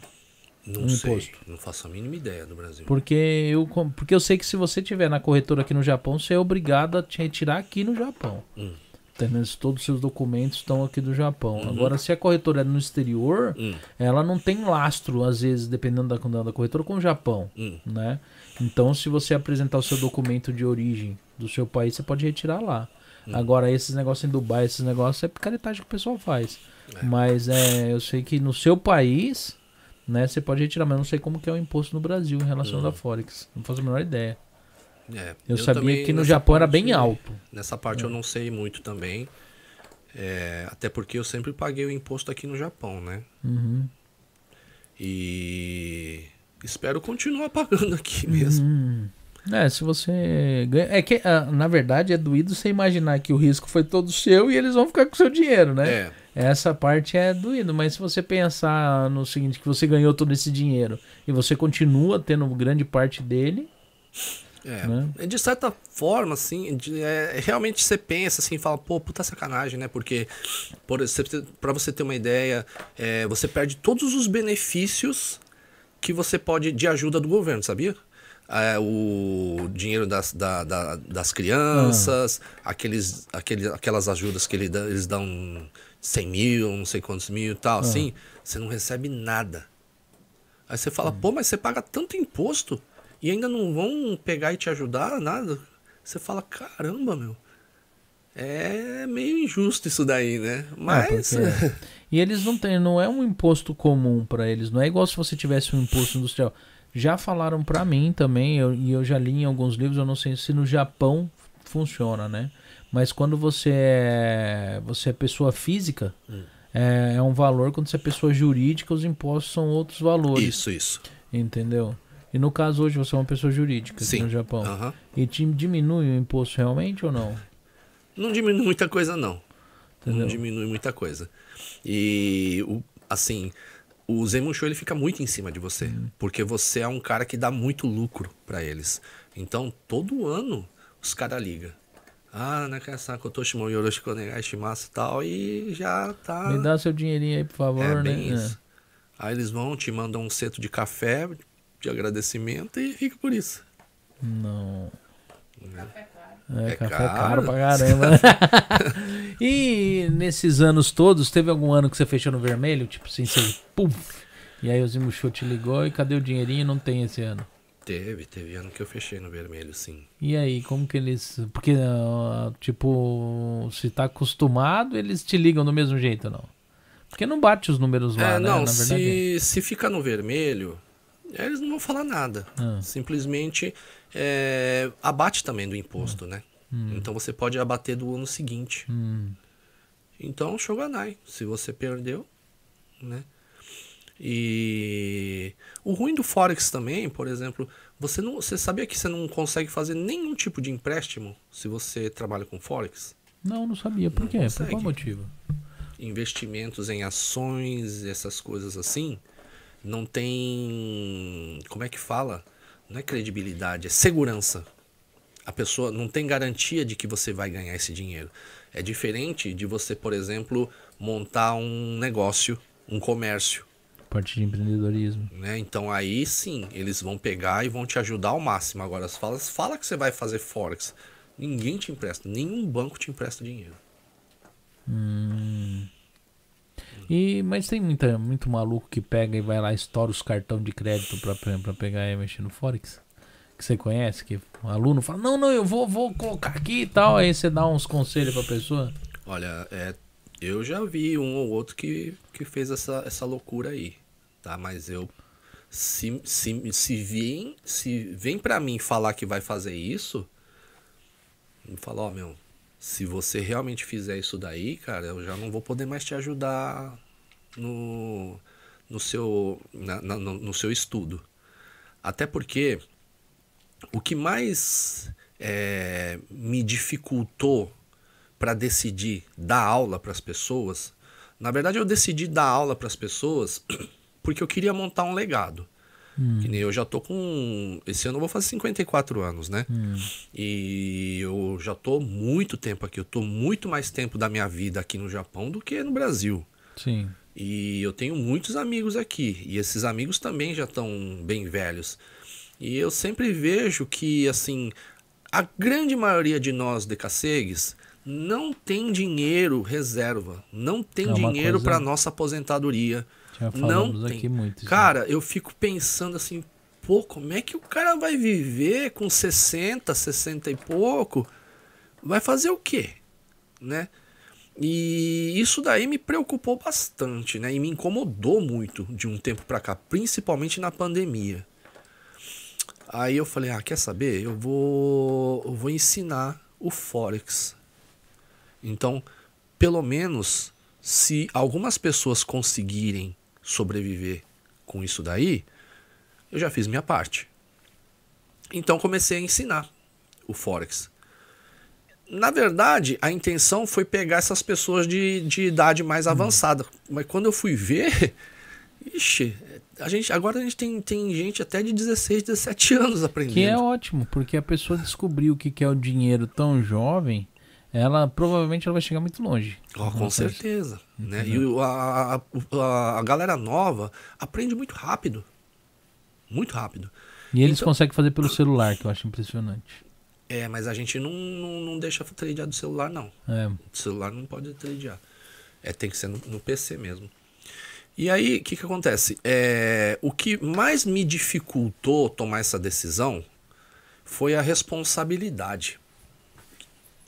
Que por mais que você pegue e ensine a pessoa direitinho e tenha esses resultados, o que, que acontece?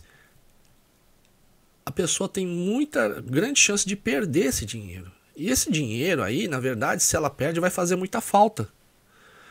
E quer, assim. todo- muita gente me fala: Meu, você tá fazendo sua obrigação, você tá ensinando. Se você conseguiu fazer com que, que, ela, que ela aprenda, a sua obrigação você já fez. Só que o que, que acontece? É, acaba criando a ganância. E aí a pessoa vai, começa a aumentar lote, começa a, a abusar mais. Quer queira ou quer não, vai acabar perdendo. Então, isso daí pra mim me incomodava muito. Hoje em dia já não me incomoda tanto assim, né? Porque eu já consegui, falei, meu, se eu não pegar e ficar ligando pra isso daí, eu não vou conseguir dar aula também.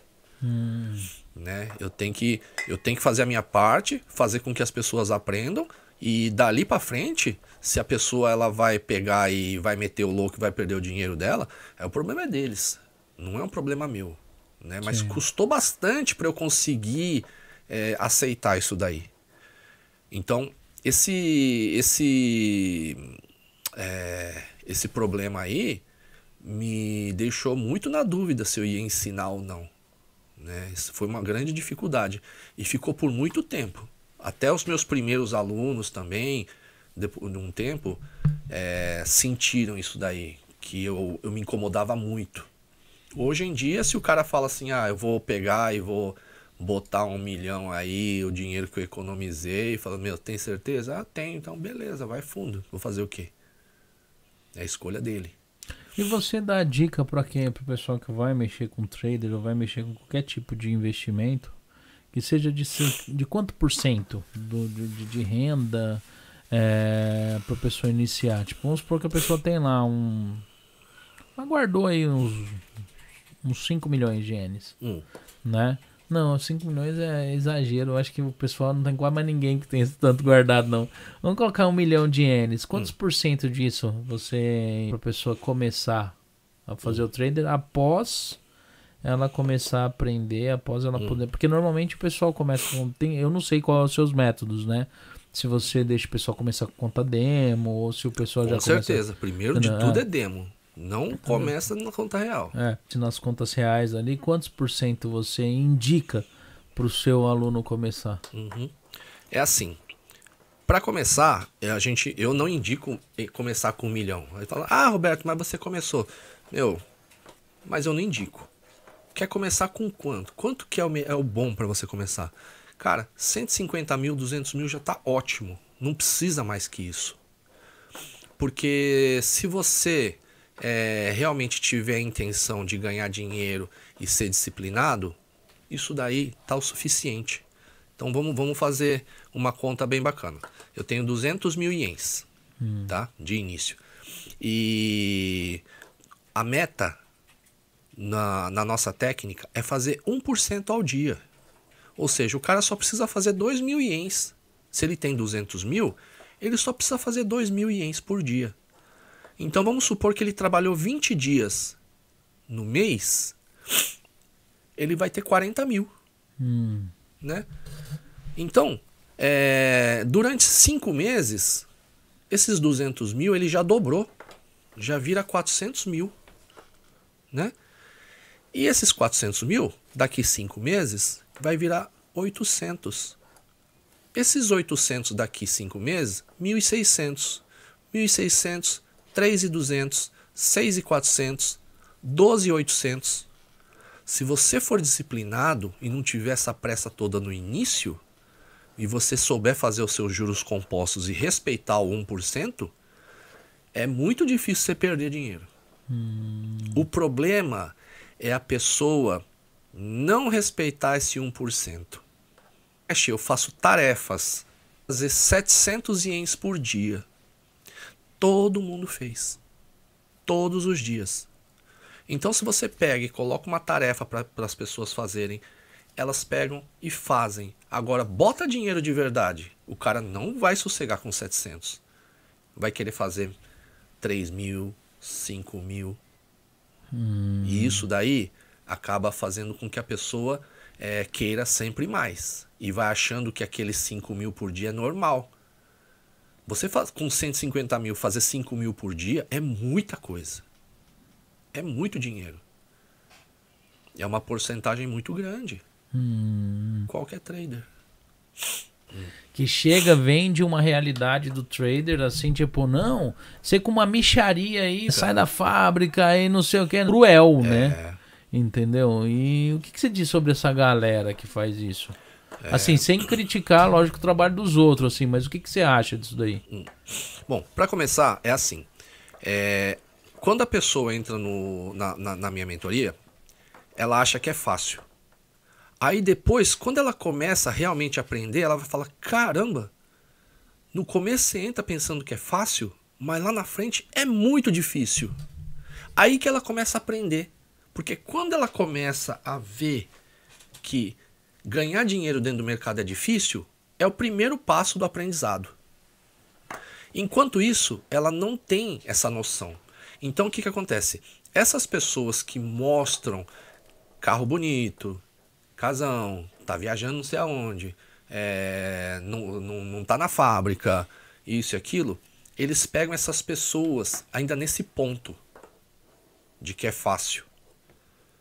Então, são pessoas que realmente estão iniciando. Você pode ver, você não, eles não, não vão pegar ninguém veterano nesse tipo de coisa, porque eles já sabem como funciona o Forex. Então, é, a mira é isso daí, pegar as pessoas que realmente não sabem de nada, né? E cara, eu que nem eu para eu começar a trabalhar com isso daí, eu precisei pensar muito de como é que eu ia fazer, né? Primeiro de tudo, eu não mostro carrão, eu não mostro casa bonita, eu não mostro nada disso aí. Eu levo uma vida bem simples. Na verdade, eu não compro nada assim. Não... Ó, a Márcia, a cara dela lá. Eu não compro nem que roupa carro pra que mim. ele chegou aí, Márcia? Não sei não, parece um caminhão. Parece um caminhão, né? Então, pode até ser, mas eu não mostro. Né? Porque você não precisa mostrar. Sim, sim. É Você- brincadeira. Você precisa. Não, eu sei. Mas você precisa mostrar, sabe o quê? Sim. A validade. Você precisa mostrar aquilo que realmente você sabe fazer. né? Então, se você pegar e mostrar realmente o quanto você sabe, o quanto que você. Ah, eu quero, obrigado. O quanto você é, tem para oferecer de verdade, obrigado. Aí sim é outra coisa, é outra conversa. né? Então, as pessoas que procuram a gente, verdadeiro, Sim. né? É de verdade. Então tem uma, uma diferencial muito grande. Toda semana, pra você ter uma ideia, tem alguém que fala assim: você poderia. Não, mas será que não dava pra fazer assim, assim, assim? Você me dava uma porcentagem? Não, de forma alguma. A gente ensina você, né? Não pegamos semana vem gente. Você imagina tem esse sucesso todo, conseguem. a-. É muito complicado isso daí, né? Então eu vi lá que ele milhão lá, aí o cara falava assim: "Não, para você poder retirar esse dinheiro, você precisa injetar quase já é, você já tá quase conseguindo". Aí a pessoa vai injetando. Aí fala assim: "Não, agora é, agora é a hora. Você colocou ali é certeza. Depois você vai poder retirar todo o seu dinheiro". E a pessoa vai colocando. E essa pessoa foi contando essa história pra mim. Eu falo, como é que o cara consegue chegar a ser tão inocente nesse ponto? Né? E então fica um alerta aí, não dê dinheiro na mão de ninguém que fala que vai pegar e vai fazer o seu dinheiro crescer, né? Porque o cara que sabe tradear, né? Ele não precisa de dinheiro dos outros. Ele mesmo faz o dele, tá? Tem uma coisa muito muito errada que as pessoas, né, falam assim: "Ah, se você é, ganha dinheiro no forex mesmo, para que que você vende curso?", né? Isso é uma besteira muito grande, né? Então, eu penso assim, se você é, vende curso e é validado, aproveita para comprar. Agora, não joga dinheiro na mão dos outros achando que você vai ficar milionário com isso daí. né? Como muita gente pensa. Então a, a pessoa consegue é, ver, enxergar que você está ganhando dinheiro porque você está vendendo um curso, mas não consegue enxergar que você está perdendo dinheiro porque você está deixando na mão de outras pessoas. Sim. E é incrível isso daí, né? A inocência, né? O raciocínio dessas pessoas. Existem muitas pessoas assim ainda, né? É, é, é uma triste realidade, mas é, existe. Então, quem tá ouvindo aí, tem, cara, não coloca, não dá dinheiro na mão de ninguém, né? Aprende você mesmo, porque você tem condição, né? Aprende. Você encontra uma dificuldade muito grande na hora de ensinar pelo fato das pessoas não terem muito contato com tecnologia? Entendeu? Tipo, porque que nem você falou, eu queria pegar o pessoal lá dos 50 aos 60, p- poucos anos e tal. E é um pessoal que muitos deles não tem muita facilidade com tecnologia, ainda É. mais assim. E hoje a gente vive uma, uma época onde você pega aí, vamos colocar. Eu vou chutar bem alto, hein? Eu acho que mais ou menos, acho que uns 30, 20% da, do pessoal tem computador em casa. A maioria do pessoal tem celular ou tem 20%. Hoje em dia, as pessoas não têm mais computador em casa. É só celular, Aham. né? E muitas pessoas que entram na, na mentoria falam o que que precisa. Aí você fala assim, ah, precisa primeiro de um computador. Computador? Ah, eu não tenho computador. Eu só tenho celular. Ah, não, celular não dá, né? Então, primeiro de tudo, você adquire um computador, né? E mas que, que tipo de computador precisa? A pessoa não sabe nem assim, não entende nada do- de, disso daí. Sim, sim. Então, é, eu montei um curso básico primeiro. Então, quando a pessoa ela entra, o que acontece? A gente já fornece esse curso básico. Como, como entrar numa corretora e passo a passo certinho para que a pessoa consiga e até ela conseguir aprender tudo aquilo lá, ela não entra na mentoria Sim. né? Então, para configurar um Zoom, para abrir um e-mail, é, tudo isso daí, as pessoas elas não, não muitas, né? Não conseguem porque tão, não usam computador. Sim, sim. Ô Márcio, tem um pessoal falando que tá travando, tá travando? Porque eu, eu tive a impressão que saiu um monte de pessoa aí. Né? Deixa eu só dar uma olhada aqui, rapidão. E ver o que tá acontecendo na Andresa. Pode ir falando. Eu vou só dar uma olhada aqui. Hum. Eu vou, vou até fazer uma pergunta pro pessoal aí. O pessoal que tiver perguntas, duas horas, já tem uma hora e 40 minutos de live já. Daqui a pouquinho a gente já começa aí com os encerramentos já. Eu vou. E tem, tem bastante gente, acho que tem bastante pergunta, né? Porque eu tava olhando aqui, começou, eu senti que deu uns lag aqui no meu aqui. Que eu tava olhando. E tava, tinha mais, tinha, acho que bateu 100 pessoas e começou a cair, né? No meu bateu aqui 103 pessoas. Entendeu? Começou a cair e começou a travar. Então eu acho que é por causa de travamento. Deixa eu só dar uma olhada aí rapidão, né? Mas eu vou fazer uma pergunta pra você ir conversando com o pessoal aí, Uhum. né? É... Quando você pegou e tipo deu de cara com essa com essa galerinha, não, com essa galerinha não. Eu depois dessa eu faço essa pergunta. Quando você deu de cara com o tamanho do imposto que você teve de pagar a primeira vez, você desanimou? É, na verdade, não. Quando você pega e começa a, a perceber que você vai pagar um imposto tão caro assim, na verdade você fica contente porque você conseguiu ganhar muito dinheiro. Se você, eu, eu sempre falo para os meus alunos, se você vai pagar bastante imposto, fica contente porque você já ganhou muito dinheiro. E simplesmente vai e paga, né? Shoganai, porque se você não pagar, você vai ter algumas complicações aí aqui no Japão. Então, ou você pega e foge com esse dinheiro, sei lá, mas depois você não consegue mais voltar pro Japão, né? Então, você eu acho que o mais viável é você pagar, porque a gen- principalmente a gente que criou tantas raízes aqui não vai embora daqui do Japão mais, né? Eu pelo menos não vou. Então eu prefiro pagar. Então muita gente também pergunta na live É, como é que faz aí pro, pro imposto? Aí já começam a fazer um monte de teorias para burlar o imposto. Aí eu falo, ah, pessoal, eu não sei disso daí. Não sei e nem, nem costumo comentar, porque é, eu prefiro pagar o imposto. E sempre foi assim. Por, por mais é, assim, motainai que você acha, melhor pagar, né? Mas tem dos seus alunos, tem pessoas que, tipo assim, perguntam se tem como burlar os impostos ou não? Ah, hoje eles não perguntam mais porque eles já sabem que eu sou a favor de pagar os impostos. Hum. Por mais sacanagem que seja, eu prefiro pagar. Mas existe algum meio em relação a. Você já pesquisou, já no geral, algum meio em relação ao que eu falei, de pessoa física, jurídica, né? Uhum. É dentro de, da, da lei aqui no Japão que diminui mais ou não? Nos Estados Unidos eles fazem muito aqueles negócios, eles montam organizações, né?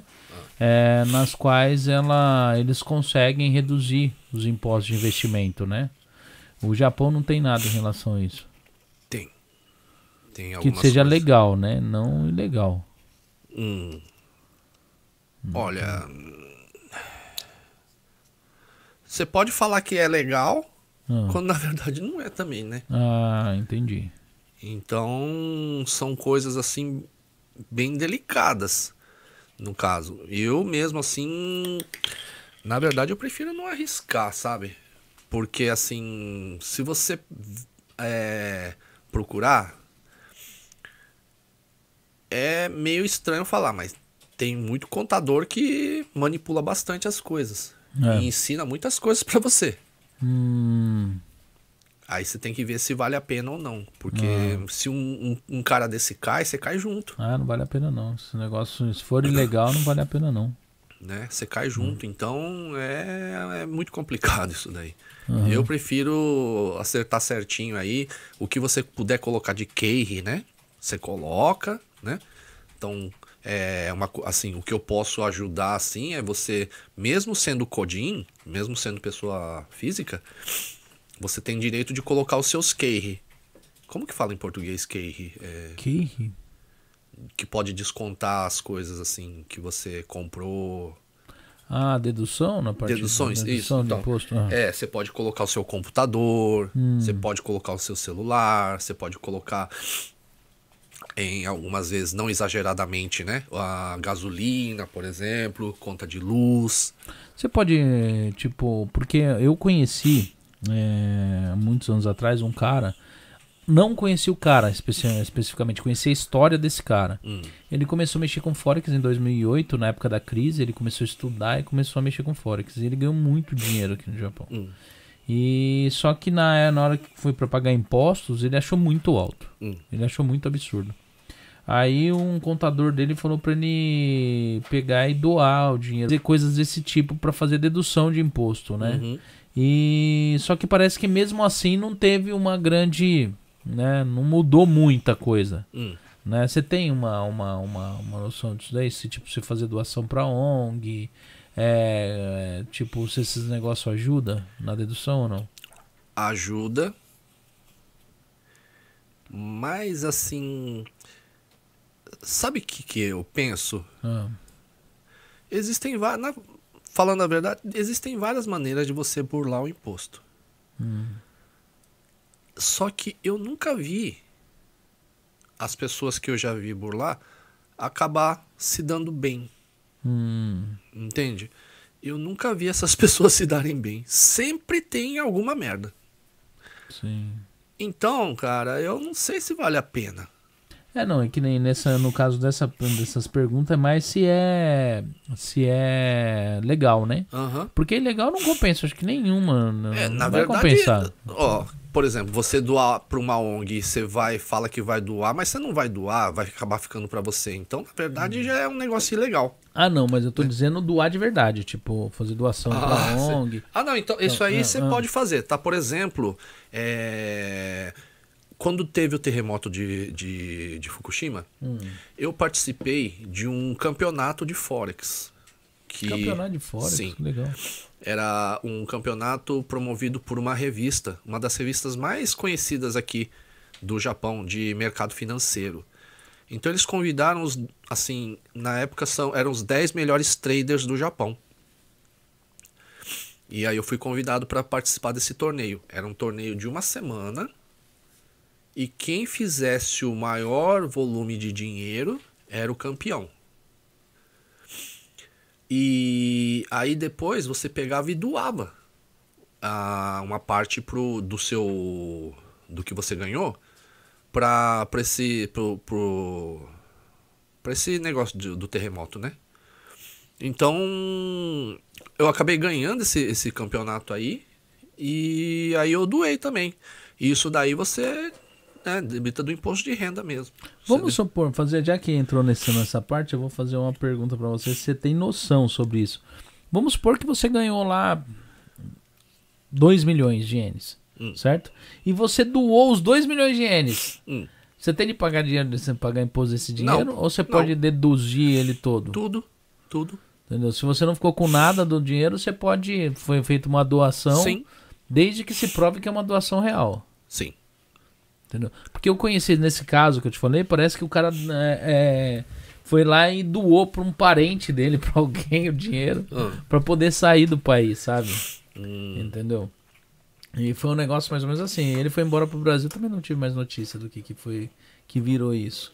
Né? Mas é. Ele. Por isso que eu tenho ciência Hum. que nessa época o material era todo em inglês, por causa da, da, da, da- da história desse cara hum, né? Que ele teve de estudar, teve de muitos do material que hoje o pessoal tem, ele que traduziu no Japão. O pessoal começou a mexer, né? Porque não tinha, não encontrava nada na época, entendeu? E era um rapaz novo, parece, né? Então, eu não, eu não sei o nome dele, conheço só a história. Então por isso que eu tô te perguntando se parte de doação, assim, porque ele tentou de tudo aqui no Japão, mas ó, por isso que eu, eu, eu falei pra você, porque eu sei que de criptomoeda também é muito alto aqui no Japão. Hum. A cripto, se passar dependendo, os caras pegam até, até de 60%, 70% É, do e a- valor. E a, cripto tá bem que É. mexi, né? Nossa, Aham. eu vi lá um aluno meu me mostrando. Falei, caramba, os Tipo, caras você- estão muito em cima, hein? Se tirar micharia, eles não enchem o saco, mas passa de um X valor já. Os caras estão muito em é, cima. entendeu? É bem alto. E porque também o, o- Você já chegou a mexer com cripto ou não? Nunca teve interesse? Aí eu tenho um pouco. É. Tenho um pouco. Mas já mexeu um pouco? Porque você tem forma. O, o gráfico é. Só que é bem. Que nem eu falo pra você. É. é, tipo. O, o- a cripto é um negócio que. É um turbilhão de, de, de, de, de- de- de informação em, em minutos ali. Não é igual. Fora que é até mais sossegado, eu acho. Pra quem mexe com cripto é mais doideira. E muita gente que mexe com Forex deu uma puladinha pro, pra cripto, né? E você chega, já chegou a ganhar uns trocos com cripto ou não? Então, eu tenho um pouco de, de, de Bitcoin, né? Ah. Mas é. No Forex tem o par, né? Ah. BTC USD. E você pode entrar comprando ou vendendo também. É a mesma coisa. E eu ensino meus alunos de vez em quando a gente a tradear no Bitcoin. É bom quando o Bitcoin começa naquela onda de alta dele, porque ele vai longe quando começa na onda de alta, né? O bichinho vai embora. O que aconteceu em 2017, o que aconteceu agora o ano passado. Ela deu, e aí normalmente é um ciclo de. Você pode olhar aí que, que é um ciclo de quatro anos, né? Ela vai, se você der uma olhada no- nos ciclos dela, foram todos quatro, quatro anos. Provavelmente daqui a pouco ele abre outro ciclo. É, provavelmente da- daqui a pouco abre mesmo. Eu acho que. É, eu acho, né? Que esse ano ainda vai bater 35. Ainda vai bater. Entendeu? Vai. E o negócio vai ficar alto, hein? É. Eu não, assim, não, não aconselho ninguém a falar, ah, compra Bitcoin aí, né? Mas eu é, aconselho, eu acho compra que Bitcoin, vai. mano. Bitcoin é a moeda do futuro. Eu acho que vai, vai subir esse ano aí, pelo menos até uns 35. Hum. Ah, entendi. Alguém mandou eu ler a pergunta aqui, o Garage One, ele mandou aqui um superchat de 320 ienes. Deixa eu só falar aqui, ó. Como faço pra ganhar mais o Kanê? Qual é o segredo?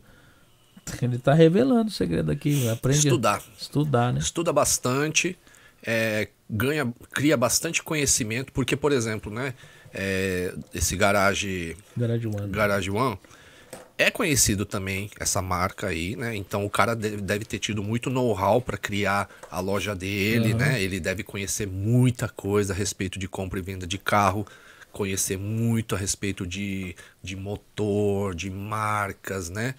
É, então esse know-how que ele criou foi estudando. Sim. Então, se ele quer ganhar dinheiro em outro tipo de investimento, por exemplo, o Forex, ele vai ter que estudar do mesmo jeito, ele vai ter que se empenhar da mesma maneira que ele se empenhou com os carros. Eu vou fazer uma perguntinha aqui, tipo, curiosidade, né? Ó, Normalmente a gente, quando você trabalha e você conquista, né, um valor financeiro, você projeta esse dinheiro para algo, para algum tipo de investimento, para algum tipo de compra imóveis, né? Uhum. É, ou faz o dinheiro crescer de outro modo, Hum. né? O Forex, que nem a gente estava falando por agora, é um trabalho, é uma profissão. Uhum.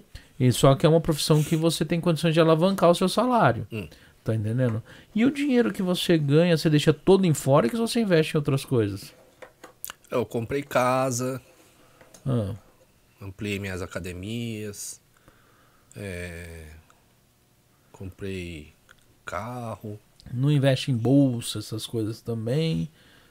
Ou você não vê vantagem em investimento em bolsa? É, porque, falar a verdade, eu só sei fazer Forex. Ah, Para eu pegar e entrar em outro tipo de investimento, eu sei que eu vou ter que me dedicar da mesma maneira que eu me dediquei no Forex.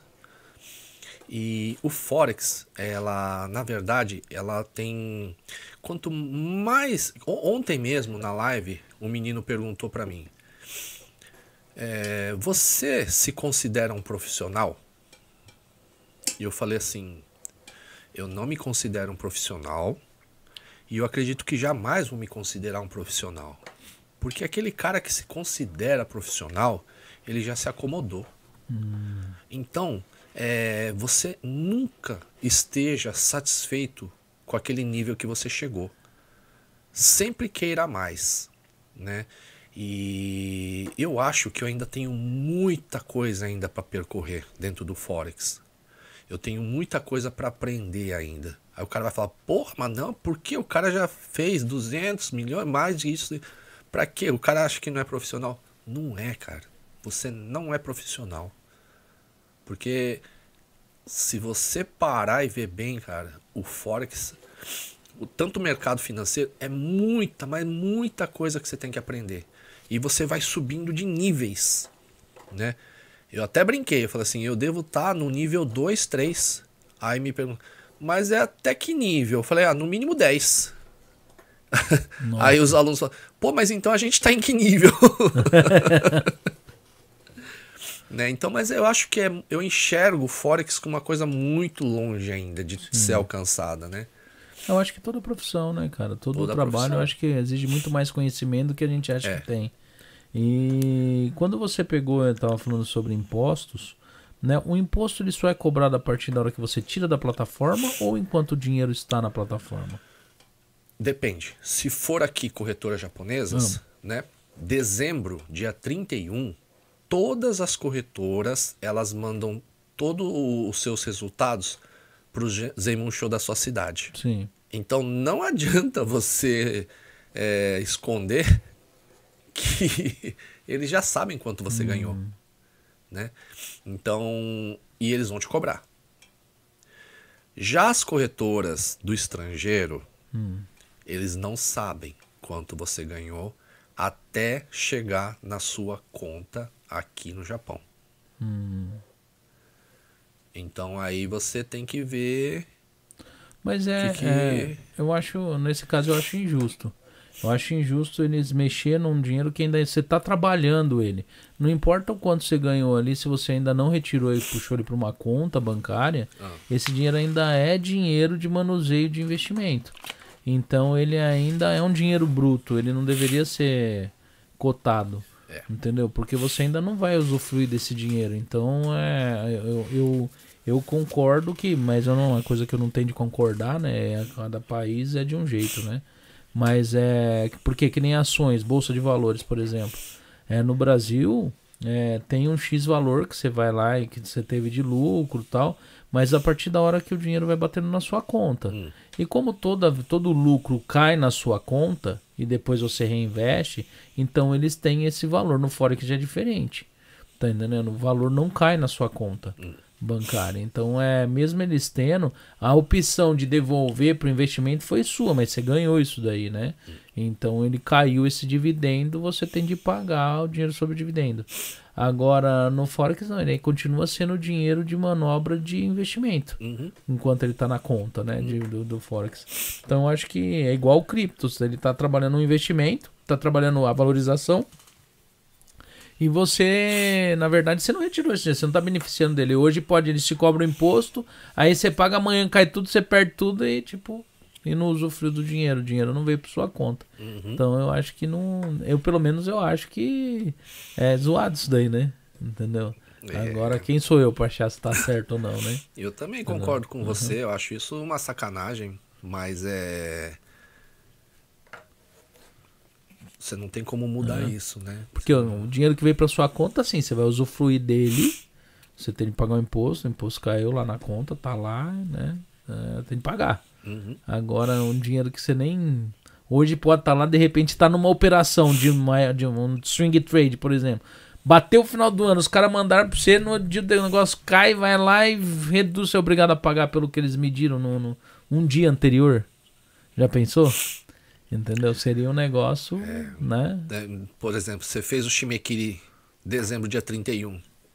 No dia 4, volta o mercado, você perde tudo, você vai ter que pagar do mesmo jeito. Pois é, num negócio que você nem tem o dinheiro.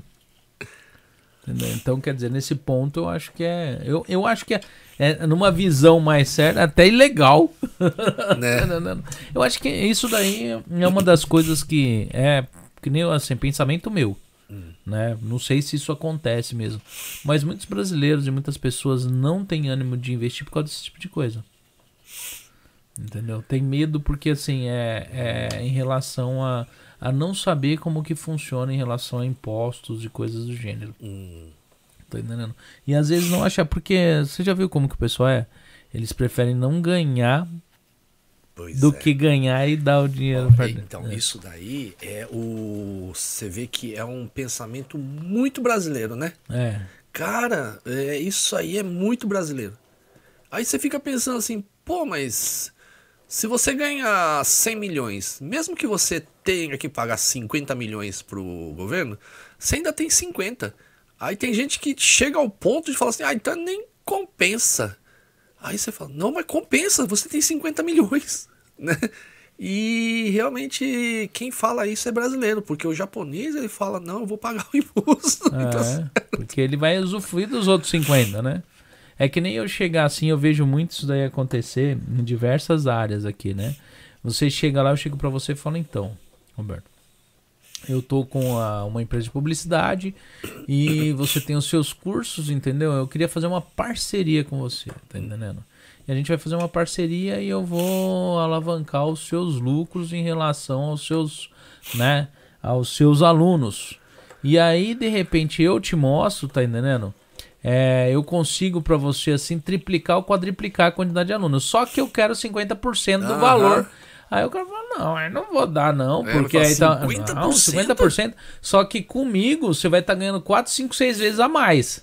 Sem a, a mim você vai estar ganhando aquilo. Aí a pessoa, ela fala assim, não, ela prefere não dar, aquela parte porque ela acha que tá sendo injusto, do que ganhar 4, 5, 6 vezes a mais.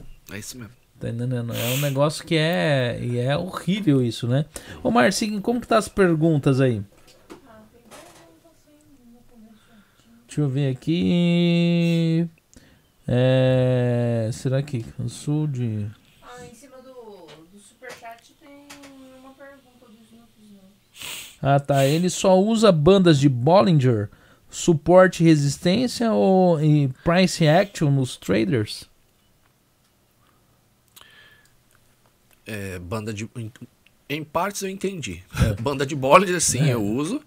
É, Suporte e resistência, sim, também. É uma coisa que a gente eu deixo marcado. Agora. Price action. Isso aí ele falou grego pra mim, nem sei o que é isso aí. Price action acho que é precificar os. o, O, o- acho que eu não, também não essa me é, me é comum, me é, assim, essa palavra ela eu já ouvi ela, mas também não não me vem o que que é não, né? É ação de pre, é preço de ação, né? Mas é porque assim, normalmente se for por ação, diz que o preço sempre se justifica, né? Assim da ação. Agora não sei se é isso. Entendeu? Mais alguma, Márcia? Deixa eu ver. Né? É, eu tô vendo o pessoal bater papo aqui, mas assim, não. Não vi, não. Teve na hora que começou a dar uma travadinha na live. Né? Eu tenho de observar o que, que é isso. Na última live também aconteceu, não foi? Deu uma travada. E aí deu uma, até uma, uma caída. Hã? Perguntou qual a estratégia matadora do scalping dele.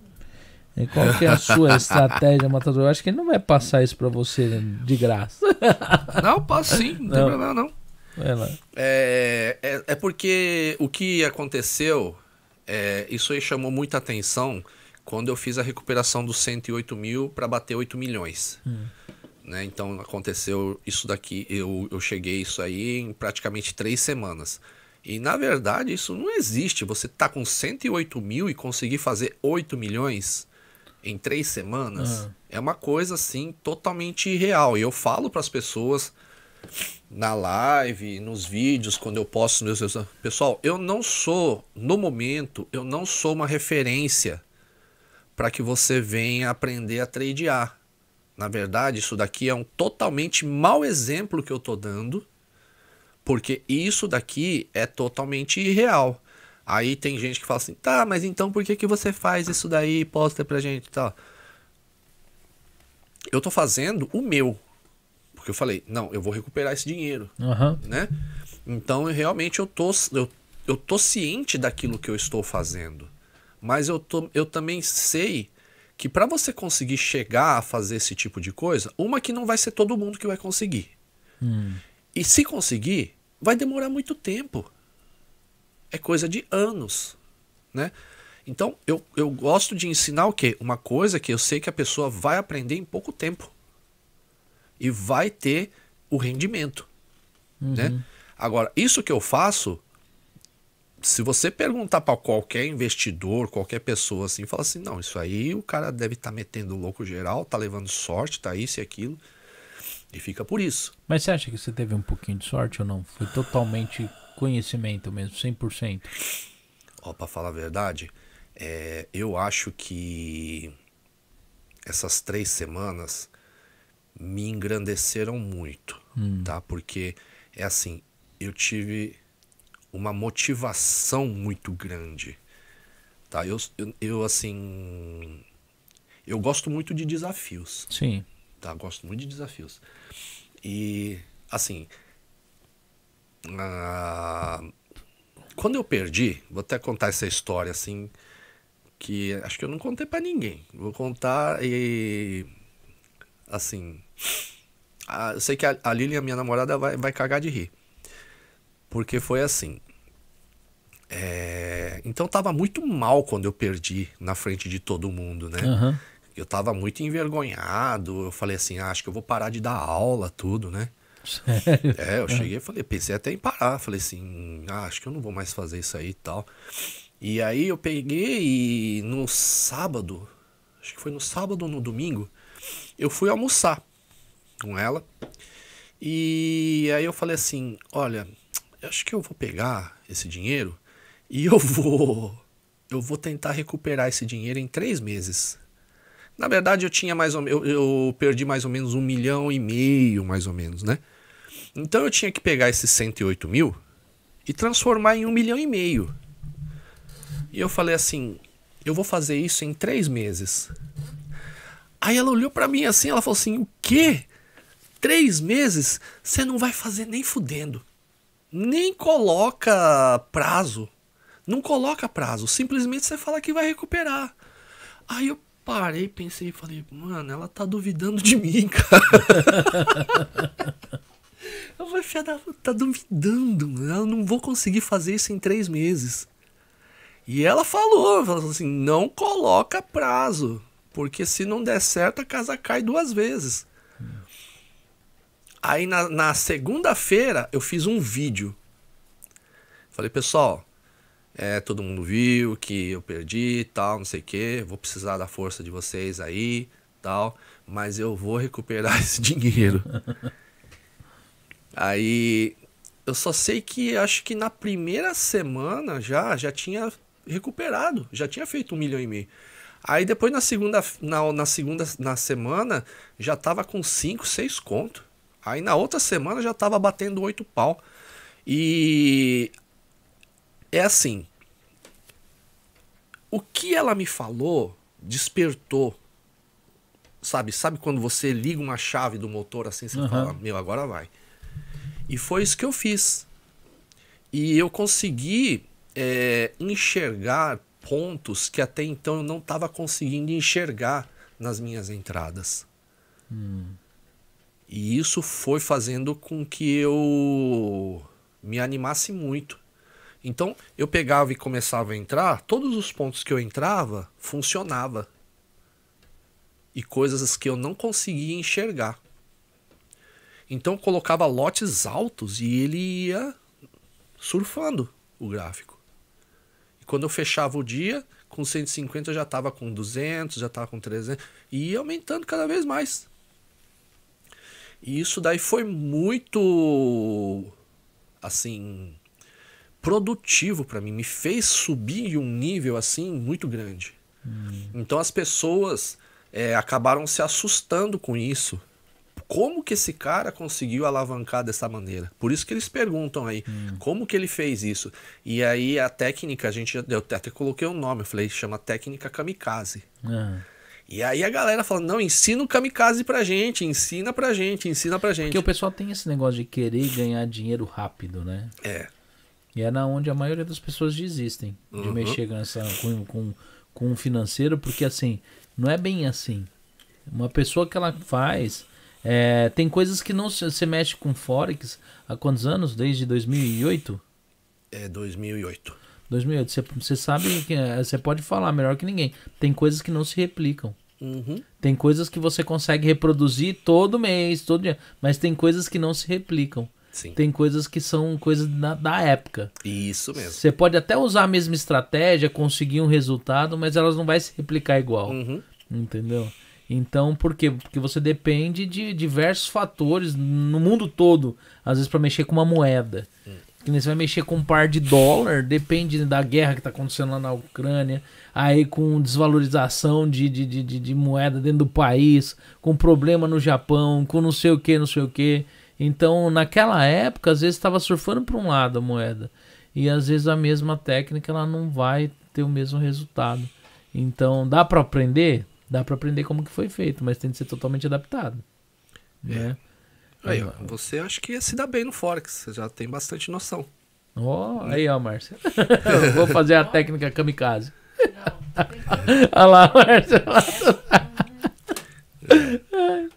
Mas a- e É. aí o que acontece é que as pessoas querem aprender, por isso que te perguntaram isso daí, né? E mas eu ensino na live mesmo, a gente faz e As lives são feitas toda terça-feira nove da noite. via Zoom ou você faz em aberto? É, no, no Insta, Ah, no Insta? Elas são abertas pra todo mundo. para todo mundo. Ah, que legal. É pra todo mundo. É, eu coloquei o Insta dele, tá aí na descrição do. Então do- todo mundo Ah, assiste Uhum. a live. Começou com pouca gente. Hoje, hoje, hoje tem bastante gente assistindo. E eu faço como se fosse uma novela. Entende? Então eu Ah. posto os resultados todos os dias. Então as pessoas elas participam, veem os meus ganhos e veem as minhas perdas também. Uhum. Então as pessoas conseguem ver, ter um parâmetro de quanto você consegue ganhar e quanto você consegue perder também. Né? Então, a, o, a minha perda da, da a última vez foi um choque muito grande de realidade para as pessoas. Na verdade, eu acho que foi muito positivo isso daí, né? A minha perda. Porque fala assim: olha, se a- todo mundo falou, se até o Roberto perde desse jeito, quem dirá a gente? Então foi um choque de realidade para eles. Sim, sim. E isso aí eu acho que foi muito útil Aham. né? E também, do mesmo jeito, foi mostrar a recuperação. E mostrar uma realidade, né? Porque quando você perde e você mostra, mostra algo real. algo palpável, algo que o pessoal se identifica, né? Uhum. Entendeu? Porque no começo o pessoal mais perde do que ganha. Então, É. quer dizer, a pessoa tem de entender que pra chegar até onde você chegou, é, você teve de ter um conhecimento, mas mesmo com conhecimento, as coisas elas acontecem. Então a pessoa ela tem de entender que, né? E hoje assim pra você pegar e ensinar uma pessoa, Hum. eu vou te fazer uma pergunta que eu acho que várias pessoas que estão assistindo ou quem vai assistir ainda vai tem esse tipo de curiosidade e eu também tenho. Uma pessoa que começou hoje, Hum. né, fazer um curso com você, certo? E ele tem hoje a média de 400 mil ienes guardado para começar a fazer alguma coisa que ele tá tentando, tá querendo investir em alguma coisa e não sabe no que, fala, vou investir em mim, vou fazer um curso de Forex e eu tenho esse valor disponível aqui. Em quanto tempo a pessoa ela consegue tirar um salário, um salário para viver de Forex? A partir da hora que ela aprende até ela ter uma, uma, uma- um valor de em dinheiro para ela fazer uma alavancagem segura e poder tirar um salário de, de, de, de, de- trabalhando como, como trader. É, isso varia muito da pessoa. É muito pessoal isso daí. É. né? Por exemplo, é, no meu caso, eu, eu só parei de trabalhar quando eu consegui fazer 100 milhões. Até então eu trabalhava, trabalhei em fábrica esse tempo todo. E na verdade eu não tinha muita vontade de parar não, Hum, né? Mas eu aí eu parei de trabalhar na fábrica e continuei fazendo o forex. sim. Agora, é, eu, na minha opinião, se o cara bate 10 milhões, eu não acho seguro parar de trabalhar para tentar viver de Forex. Porque vamos supor, o cara, é, se ele tá, se ele tem 10 milhões, calcula mais ou menos, se o cara fala assim, ah, se eu ganhar 10%, eu tô ganhando um milhão. Eu vou fazer um milhão por mês, né? Ok. E ainda ele fala assim, e eu não vou gastar todo esse um milhão. Eu vou gastar 500 e ainda vai sobrar 500. Só que o cara não conta com as perdas. Hum, que não é todo mês que vai dar isso, não. né? E quando perde, perde grande. E o problema é a destabilização emocional, né? Na perca. É isso. Entende? É isso daí que é o complicado. Então, de repente, pode ter gente que com 10 milhões consegue viver. Agora, de repente, tem gente que com 10 milhões não passa nem dois meses. Porque quebra. Então varia muito da pessoa. Né? É... Mas se você pegar aí assim, mesmo assim, você qui- ah, quiser um exemplo, é... vamos supor, o cara tem 400 conto, ele investe esses 400 contos, começa a fazer juros compostos, o cara é disciplinado, ganha 20% ao mês aí, né? Uns dois anos ele já tá sossegado, né? Já dá pra ele ir pra Tailândia, viver lá, tradeia de lá mesmo. Mas por que a Tailândia? A Tailândia tem a- é, é- é mais tranquilo parte de. Não, eu falo Tailândia porque eu gosto muito de lá, né? É. Eu já faz mais de 10 anos que eu vou pra lá todo ano e fico lá, então. Que nem é, muita gente hoje procura assim aquele, aquela profissão do nômade, né? Uhum. De poder fazer algo de qualquer lugar do mundo. Hum. Você acha que o trade, o trade é uma, Pô, é uma, uma perfeito, dessas? meu. O trade, para você fazer trade é perfeito. Tanto é que eu tô com um projeto ainda, a gente não, não, não chegou a fazer, mas é, a gente vai, tipo, alugar uma casa na Tailândia, ficar alguns meses lá e mostrar para os nossos alunos como que é essa experiência de estar tradeando num outro país. E para os nossos alunos, para eles pegarem e ir para lá, fica uma semana com a gente, tradeia de lá, depois vai, vai passear, entende? A gente quer fazer isso daí. A gente tem esse projeto, ainda não, não, não, não botou em não, não não botou para funcionar, Sim. mas a gente tem esse esse projeto para fazer. Hoje o seu curso ele consiste de quantos módulos e quanto tempo? Ou não tem É, módulo? são essa? seis meses Hum, e custa 200 mil ienes por seis meses. O curso total. É, tudo. E as aulas são toda segunda, quarta e sexta. Hum. Tá? E Quantas horas de aula? Uma hora, 45 uma hora e meia, às vezes quando tá em Sogashi a gente vai até duas horas. Se tiver mais hoje vai duas horas e meia. Hoje tinha aula, que horas era a aula? Nove horas. Nove das horas. nove às dez e meia. Já não tenho como fazer. É. Quarta e sexta tem podcast. Mas ontem, É. ontem tinha aula, né? A gente teve aula, então a gente não tem hoje. E aí na, na sexta-feira. A próxima aula é na sexta-feira agora. Ah. Entendi. Mas, por exemplo, tem índice financeiro. Vamos supor, tem um índice financeiro meia-noite. Aí o que, que eu faço? Eu abro a sala 15 para meia-noite, galera entra, a gente faz o índice e depois fecha. Hoje você tá com uma turma de quantas pessoas? Deve ter umas 80 pessoas, eu acho. 80 hein? pessoas? É. Hum. Olha, bastante, já bastante aluno. Tudo Bastante. daqui do Japão ou não, Não. tem? É, do Japão é a, a maioria, né? Mas Ah. tem pessoas do Brasil. E mesmo no Japão a gente tem, tem peruano, argentino, tem boliviano, tem japonês. Ah, tem japonês que Tem vai junto. japonês E também. como que faz quando o japonês Ah, tá- eu ensino eles a falar português. Ah, é? É, eu falo, ele fala, prepara, 1x, 2x, 3x, 4x, compra, vende, eles sabem.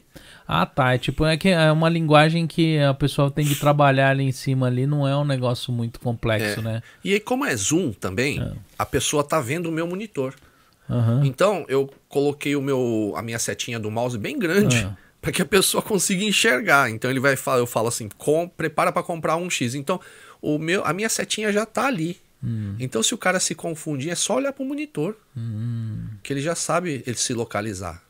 No começo, ó, durante quanto tempo o pessoal te segue? Hum.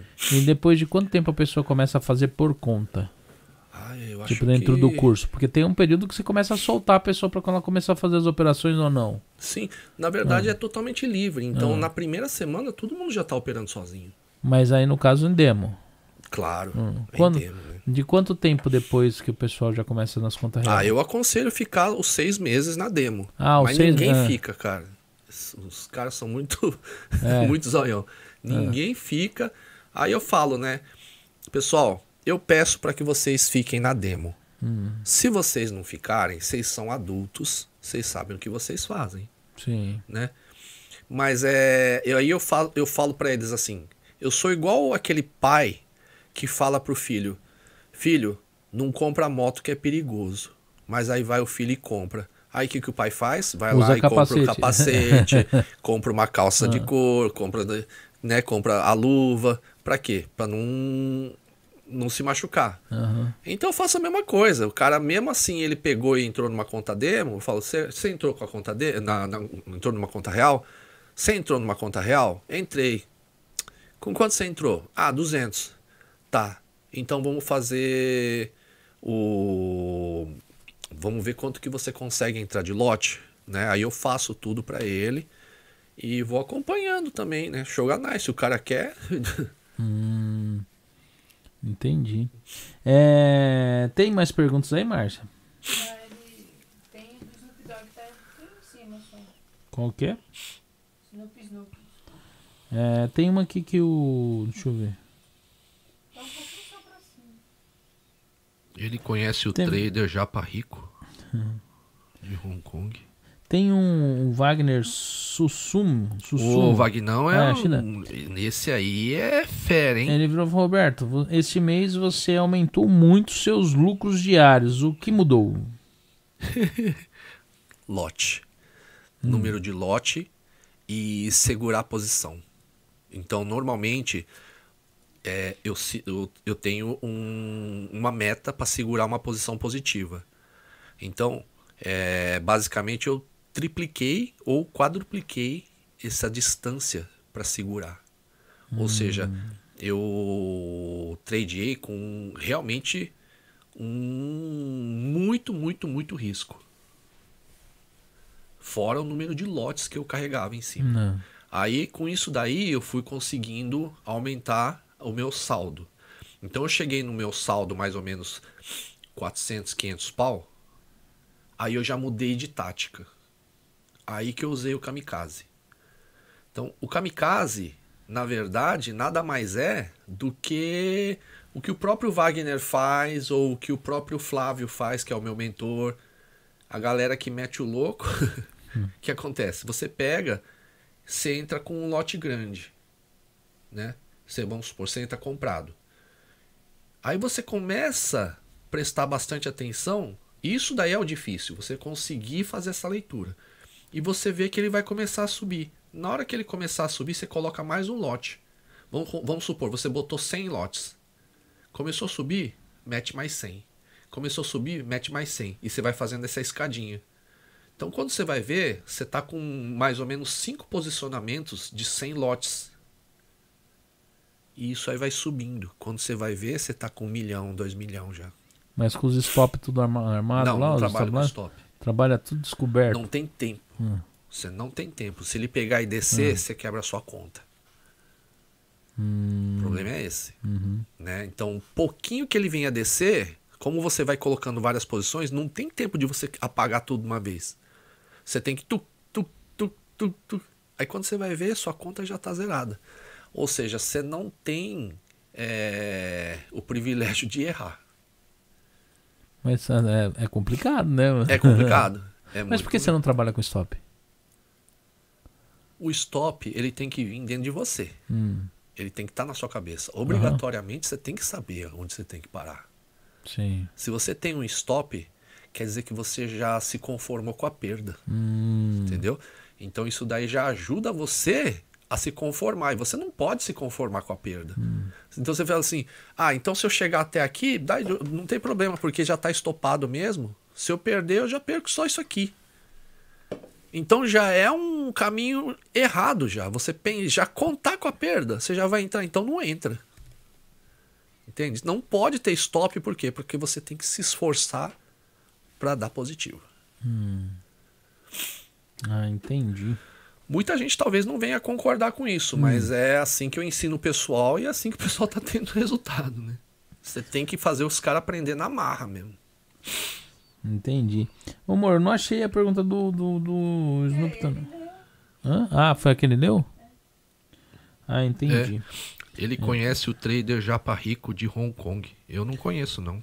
Hum. Como que é isso daqui? Como que libera ele que hoje a zero hora tem índice, ó. O pessoal tá mandando liberar você que hoje a zero hora tem índice, né? É que você faz o, o- você faz live à, meia-noite ou não? Não, eu- é, é a aula, né? Ah, eu, eu abro a sala e todo mundo entra e a gente tradeia junto. Ah, meia-noite? É, ontem mesmo a gente fez isso. Ah, Você você mora onde? Yokite. E o kite dá quanto tempo daqui? Uma hora e meia. Não, não dá tempo, não. Não dá já, tempo, não, era, galera. Tipo, já foi, filho. já era, né? Hoje, hoje não tem índice. É que ontem, Ah. ontem a gente ganhou um bom dinheiro, né? Ah. Todo mundo. Então aí o pessoal começa a se animar também. Ah, entendi. Mas assim, qual o conselho que você dá pro pessoal que tá começando agora a mexer com dinheiro? Com essa parte de Forex? É assim, é, você começar, iniciar com um dinheiro real, ele precisa, ele exige uma adaptação.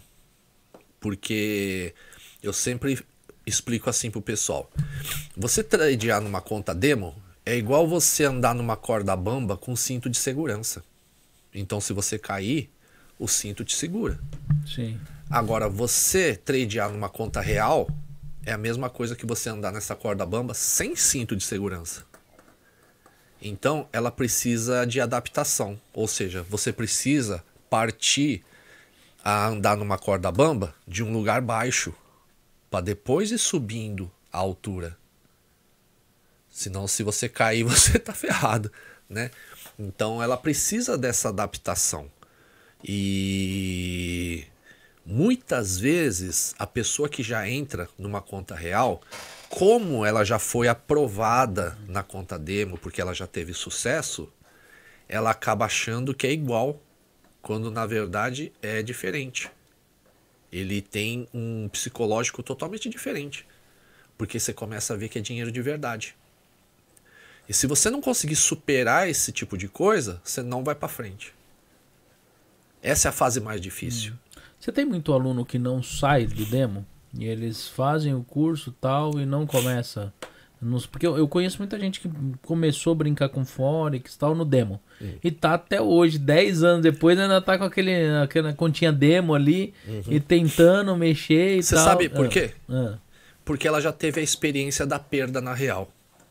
A maioria já teve essa experiência de ter perdido dinheiro na real e aí ela fica na demo e acha que ainda nunca tá bom. Só que conta demo é bom? É bom. Mas uma hora você tem que ir pra real. Sim. Senão Zen Zen e Minai.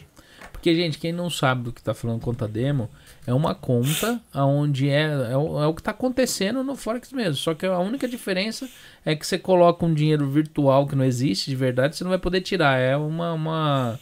Mas você pode fazer toda a operação, tudo ali em tempo real, né? Que o pessoal tá fazendo com dinheiro. Só que é uma conta onde não tem dinheiro. É.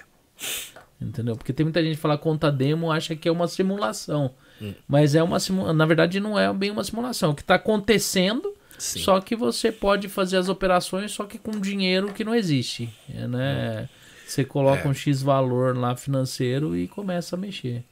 Então, muita gente pega e menospreza muito a conta demo, porque fala assim: ah, a conta demo não dá emoção, por isso que eu vou entrar na conta real para me dar emoção. Não tem nada a ver. Se você não tem habilidade numa conta demo, você não vai ter na conta real. Tudo que você consegue fazer na conta demo, você também tem que conseguir fazer na conta real. Então, você tem que agir os dois lados com muita responsabilidade. Então, porque eu, eu vejo muita gente é, que quer entrar no Forex, que quer começar a mexer com algo que dê um salário pra ele, né? É. Tem algumas pessoas que já são mais conscientes que tem aquele negócio. Eu queria parar de fazer um baito, eu queria parar de fazer aquele zangueô, sabe, que eu faço, e queria suprir, ver se eu conseguia suprir. É até mais realista, tal, da pessoa tá fazendo ali, tipo, vai lá, vamos supor que ela consegue tirar por semana, dependendo aí, tipo, 10 conto, 10, 15 conto por semana. E vai no final do mês é 60 conto. Às vezes era o zangueô que a pessoa fazia, né? Uhum. Entendeu? Então acaba sendo mais realista, né?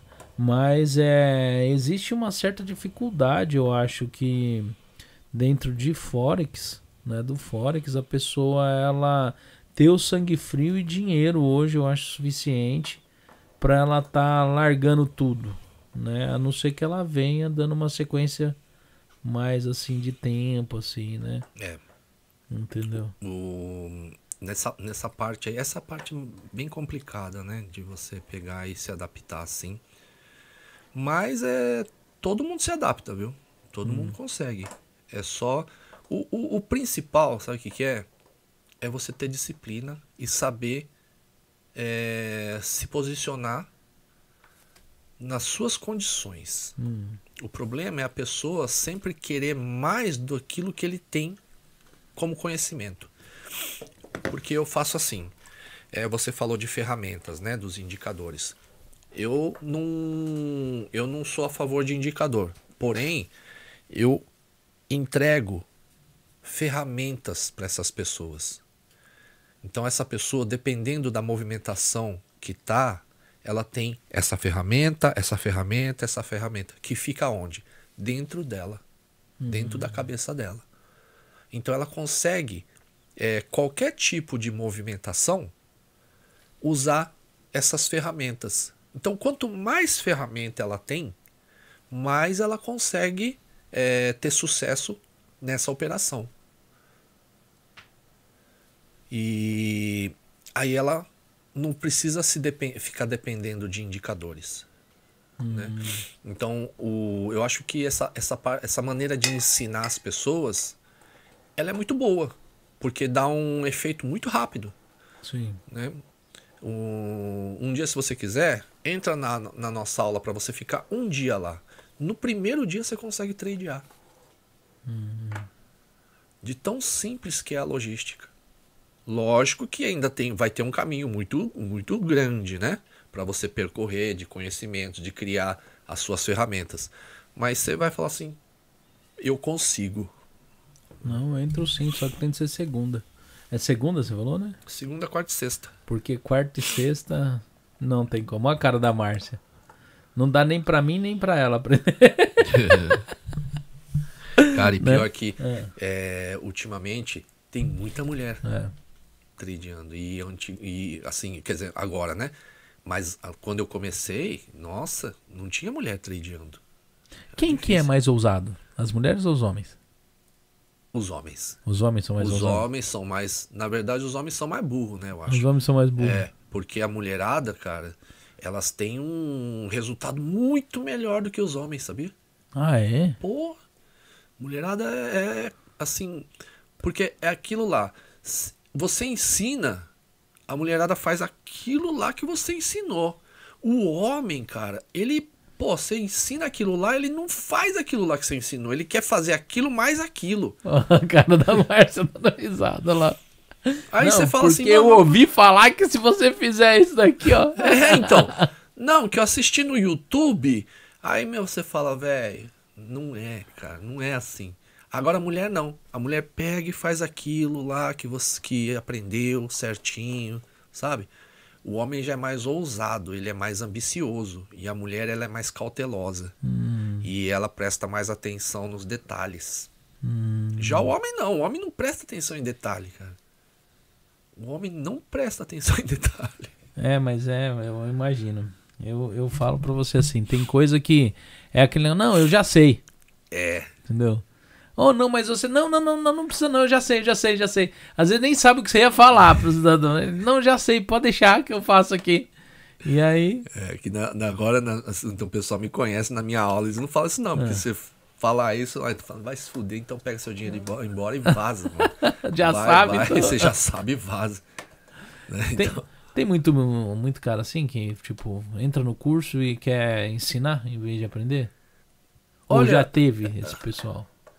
Ah, tem um ou outro, mas é bem difícil, né? A gente, na verdade, assim, eu acho que a gente tem muita sorte porque a nossa equipe, cara, é, são pessoas que têm muito interesse em aprender. Bastante mesmo.